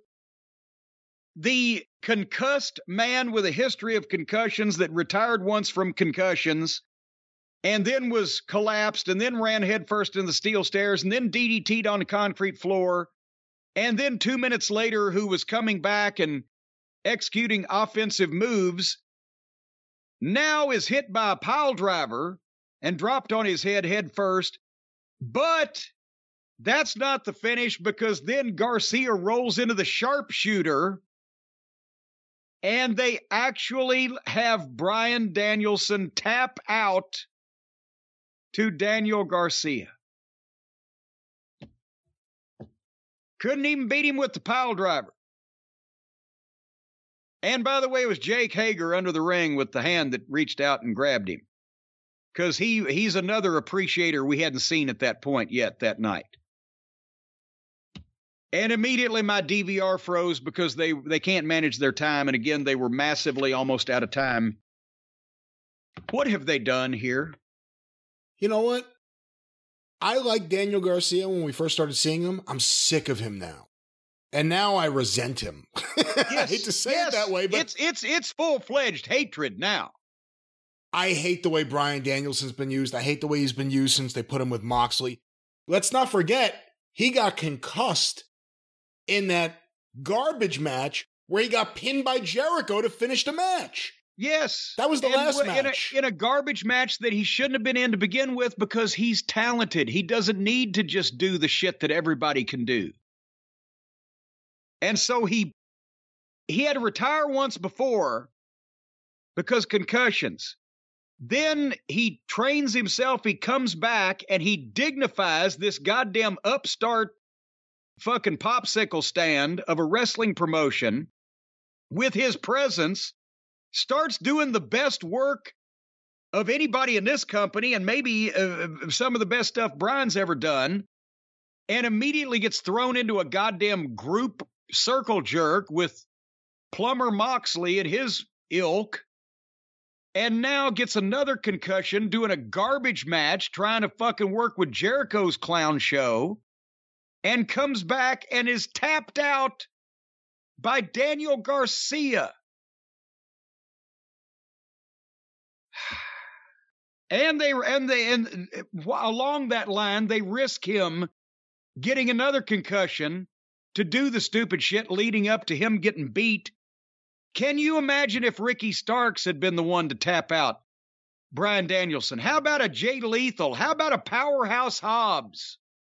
How about any motherfucker? Miro! Any motherfucker you might be able to sell it one ticket with, or draw an ounce of money with, or just have a fucking good match with. I agree with all those names except Jay Lethal. Yes. I, I, I, I mean, I know poor Jay. Now everybody's like, well, they were excited when he came. I was when he first got there. I was like, thank God. Now they've minimized him to the point where who gives a shit? And if if I know a lot of people are saying, oh shit, we got to see Jay Lethal. That means we're going to see the big pinhead. So that's another reason I want to see Jay. But Jay is a, a, a talented fucking performer that could do a lot more than what they're allowing him to do while they show all the people that are going to suck Jericho's dick or fucking kiss Tony Khan's ass or, you know, wear a Halloween costume that one or both of them can dress up like. Well, again, you and I will disagree on Lethal, but I'll say this. If in 92, early 93, if the WCW fans had in any way reacted in a positive way to Erik Watts, that kind of would have been the way Daniel Garcia and Wheeler Yuta have been used on this show. Yeah. For me, and again, that's the difference. Erik Watts had no fans. These guys do have fans. There are people there who like them. But I also think there's a lot of people like me that are like, God, I'm sick of these guys. Athletic, potential for the future when they gain some weight or something, sure, but nonstop. But every see, show. that's that's the thing. Tony gets the opportunity to have money drawing talent on his show there in front of him, and he can't recognize them. He either likes the kind of wrestler or goes on the recommendation of his brain trust for the kind of wrestler that is an indie darling for sure. All the people going to a rec center, all 500 of them would chant fight forever at these guys. But if you want to run a fucking real wrestling company, you need guys with personalities and charisma and size and a look and that can talk and that can work and have some experience in getting themselves over and or the ability to do same if given the opportunity. You don't need bland, boring, identically sized, identically personalitied, aka none, fucking technical wrestlers that, you know, have stolen their world of sports spots off of watching Colt Cabana tapes. That's what you don't need, and that's what they get because it's like when Laurinaitis was in charge of talent relations in the mid 2000s, he signed people just like him, the Mark Jindraks of the world, tall, nondescript, no body, no promo ability, two left feet in the ring.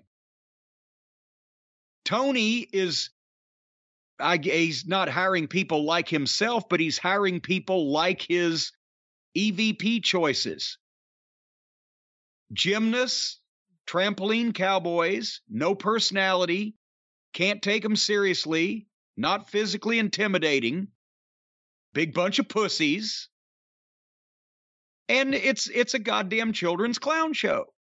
He has people there. And he won't use them because they don't they don't fit what he is looking for. They're, it's it's a roster of twinks, not a roster of goddamn wrestlers. Can I ask you a question to play devil's advocate? Sure. Tony Khan has a young guy. Let's use Daniel Garcia for this example, but Wheeler Yuta's the exact same thing almost, except he's a babyface. He's putting him over. He's getting him on TV every week, while guys like Miro or Sting and Darby are not on the show every week. These guys are. They're getting promo time. He's putting them over big stars like Bryan Danielson.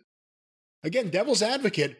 Why isn't Tony doing it right when it comes to getting these guys on TV and getting them over? Well, is he being advised not to do it right because his EVPs think that some of these people might get over them? Or is it just that they're so fucking stupid let's face it, none of these guys, they not only don't know anything about the wrestling business, I'm talking about the Cucamonga kids and Harpo and their ilk.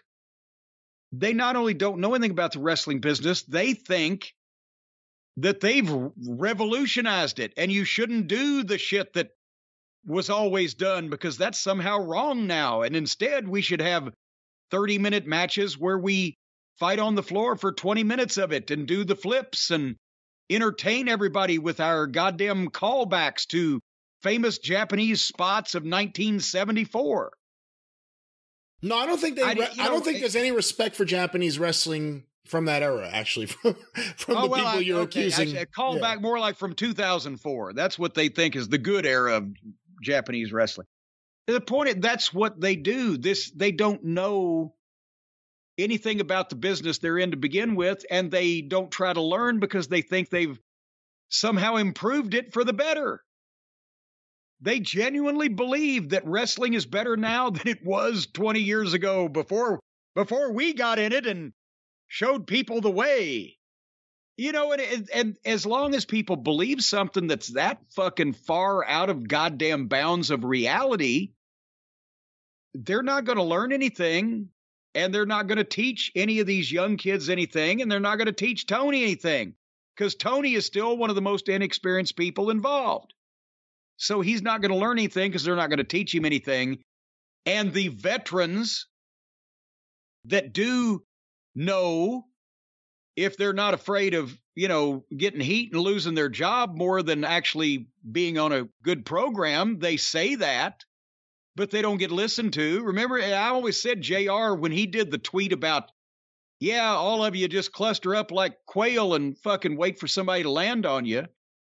If he tweeted that in public, he'd said it five times at least in front of fucking people who didn't listen to it in private.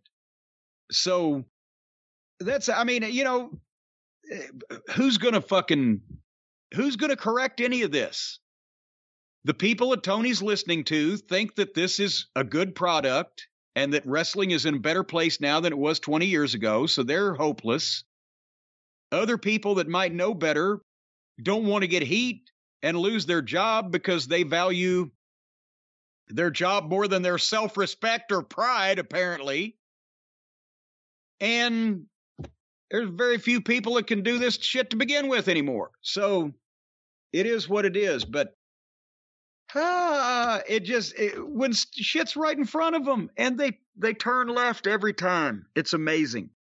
So yeah, you can put that one down in the record books, folks. Daniel Garcia tapped out Bryan Danielson on free television. And didn't and didn't get over a goddamn inch more than he was beforehand because it was all in the middle of a bunch of hoo-ha that couldn't register because none of it made sense and it all came at you too fast. When you see the last several months, and we saw the CM Punk year before he got hurt, and we assume that CM Punk was rather assertive in what he would do and what he wouldn't do and who he would work with and who he wouldn't work with. When you see how Bryan Danielson's been used, do you think it would be a situation where he's making these decisions or he's no. less assertive than CM Punk and he's talked into these things? He's not coming up with this shit from scratch on his own. He's agreeing to it because he's a nice guy and he wants to help everybody. And I think Bryan probably thinks that Daniel Garcia and Wheeler Yuta and all the rest of these fucking indie guys, well, they they're they're really talented. They just need an opportunity because he he looks at the glass half full. I look at the glass like it's all the way empty because the crack in the bottom where everything drained out and we're going to have to replace the whole goddamn thing. And what I'm saying is, I don't care if Frank Gotch comes back to fucking life and puts these guys over. They don't have the personality, the size, the look, the physical charisma, and they're not getting the mental education about wrestling that they need, all those things that they need to actually get over.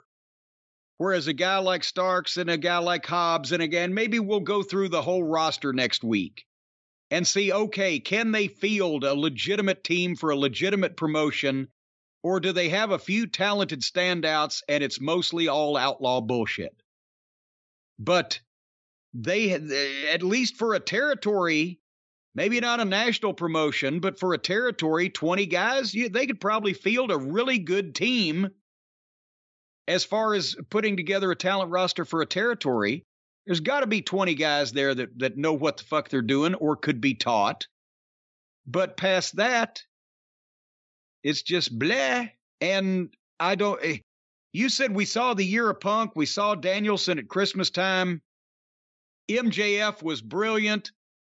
And I thought this summer, even without, before we knew that all the things that were going to go on in the WWE and, and how they were going to be in turmoil and etc., I thought this is going to be a bit of a dogfight this summer. Eh, you know, they're, they're going to have some, and Cody going to the WWF. There's going to be some good shit going on.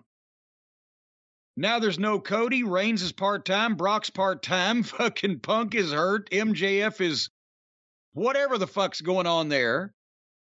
And the AEW program nearing their third anniversary is worse than ever. And it's like Tony's learning in reverse. It's like he books in reverse and he learns in reverse. He was booking more logically when he was a complete amateur than he is now that he's got three years of experience.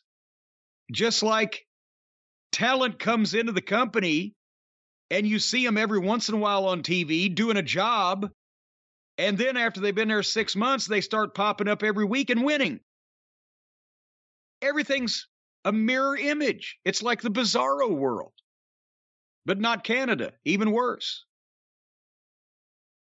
Well, we'll see how much worse it gets this week on AEW Dynamite. I can't believe the booking of Bryan Danielson. That's, you know, I could find, because it was so puzzling and I can get a kick out of some of the bad things, as you know, but there was also good elements in the Ricky Starks escapade segment or two, whatever that was. And then yeah. the Christian Jungle Boy thing. Okay. Not the way we would have done it, but almost close to a traditional wrestling feud in terms of there being a good guy and a bad guy. But the booking of Danielson, that's the most puzzling thing of all. And see, that's the thing. He's not going to be a prick like Punk. And and Punk would be proud of being a prick about his business or standing up for himself. Bryan Danielson is a nicer guy and his he loves wrestling and he loves all the young the young bright-eyed innocent young people that want to be involved in wrestling and he wants to help them. Well, the way that he could help most is by getting and keeping himself over despite his amateur booker and the people that are probably trying to stab him in the back and produce revenue for the company. That would be the best thing he could do right now for all the young wrestlers instead of going in and working with them for 20 minutes and putting them over when nobody's going to buy it anyway. And next year, if somebody remembers that Daniel Garcia beat Bryan Danielson, I'd be surprised. I'd be surprised in six months. And in terms of whether it means anything for Daniel Garcia, no, he's same level now he was before to the overall scheme of things. The the AEW fans that they already had may like him a little more than they already did, but otherwise, really, you need to do the right thing with the right guy. One or the other alone doesn't work. This was neither the right thing nor the right guy. And how impressive is Wheeler Yuta? He beat Daniel Garcia at the Ring of Honor pay per view. Well, there you go. And then it's so by that standpoint, Anna Jay ought to be slapping Danielson around next week. Now I would pay to watch that match. All right. All right. I'd pay to and and here's another thing. By gum, I forgot I'm mad at you because you made me listen to that whole goddamn media scrum the other day. So you just watch your P's and Q's there, pal, fella. You know, I have no defense. I apologize. Yeah. All right. Well, we're going to be back with something else you're making me watch uh, on your program. We're going to talk about SummerSlam. That's going to be, as we mentioned, it's going to be on the YouTube channel, at least as we're as much as possible, and then it's going to be in the podcast. So you'll hear it one place or another. But we're trying to we're trying to get this out as quickly as possible with our screwy schedule around construction, etc. But SummerSlam is next. They're supposed to make a big creative splash. What kind of splash are they going to make? Jeff Jarrett's going to be the new challenger to Brock Lesnar. All right. Well, anyway, enough of this for now. We're going to watch something else we don't particularly want to watch in SummerSlam uh, at your behest, but we will have that on your program, The Drive Through. We're going to plug it into the official YouTube channel uh, first, if we can, so people get their their fix of corny on SummerSlam, and then it'll be in the drive through. We'll have other exciting topics and as well. There's something else. Oh, and and and we're gonna do. We need to sit down and look at the AEW roster. So either on the drive through or next week on the experience, we got to do that too and see if we could weed out that thing to where it would be, uh, you know, an acceptable roster that you could actually do something with if it was assembled with some element of thought and planning, I guess is what I'm trying to say. We've been teasing it. You've been promising it for probably a year and a half now. Well, it keeps changing. They keep kicking people out over on the other side, and then the, Tony keeps picking them up. And now what we hear, Adam Cole signed for five. Malakai Black, they said, is signed for five years. Jesus Christ! I hope he's a good landscaper. They're going to have a problem finding something for him to do for five fucking years. He's anyway, all right. We're going to do all that on your show and coming up in the future episodes of the experience, correct? And questions and questions from the and listeners. questions such as why are you still watching this shit? What the hell's the matter with you? Those questions, we get those all the time. In the meantime, Until then, everybody, thank you for bearing with us today. Have an enjoyable weekend. Thank you. Fuck you and bye bye, everybody.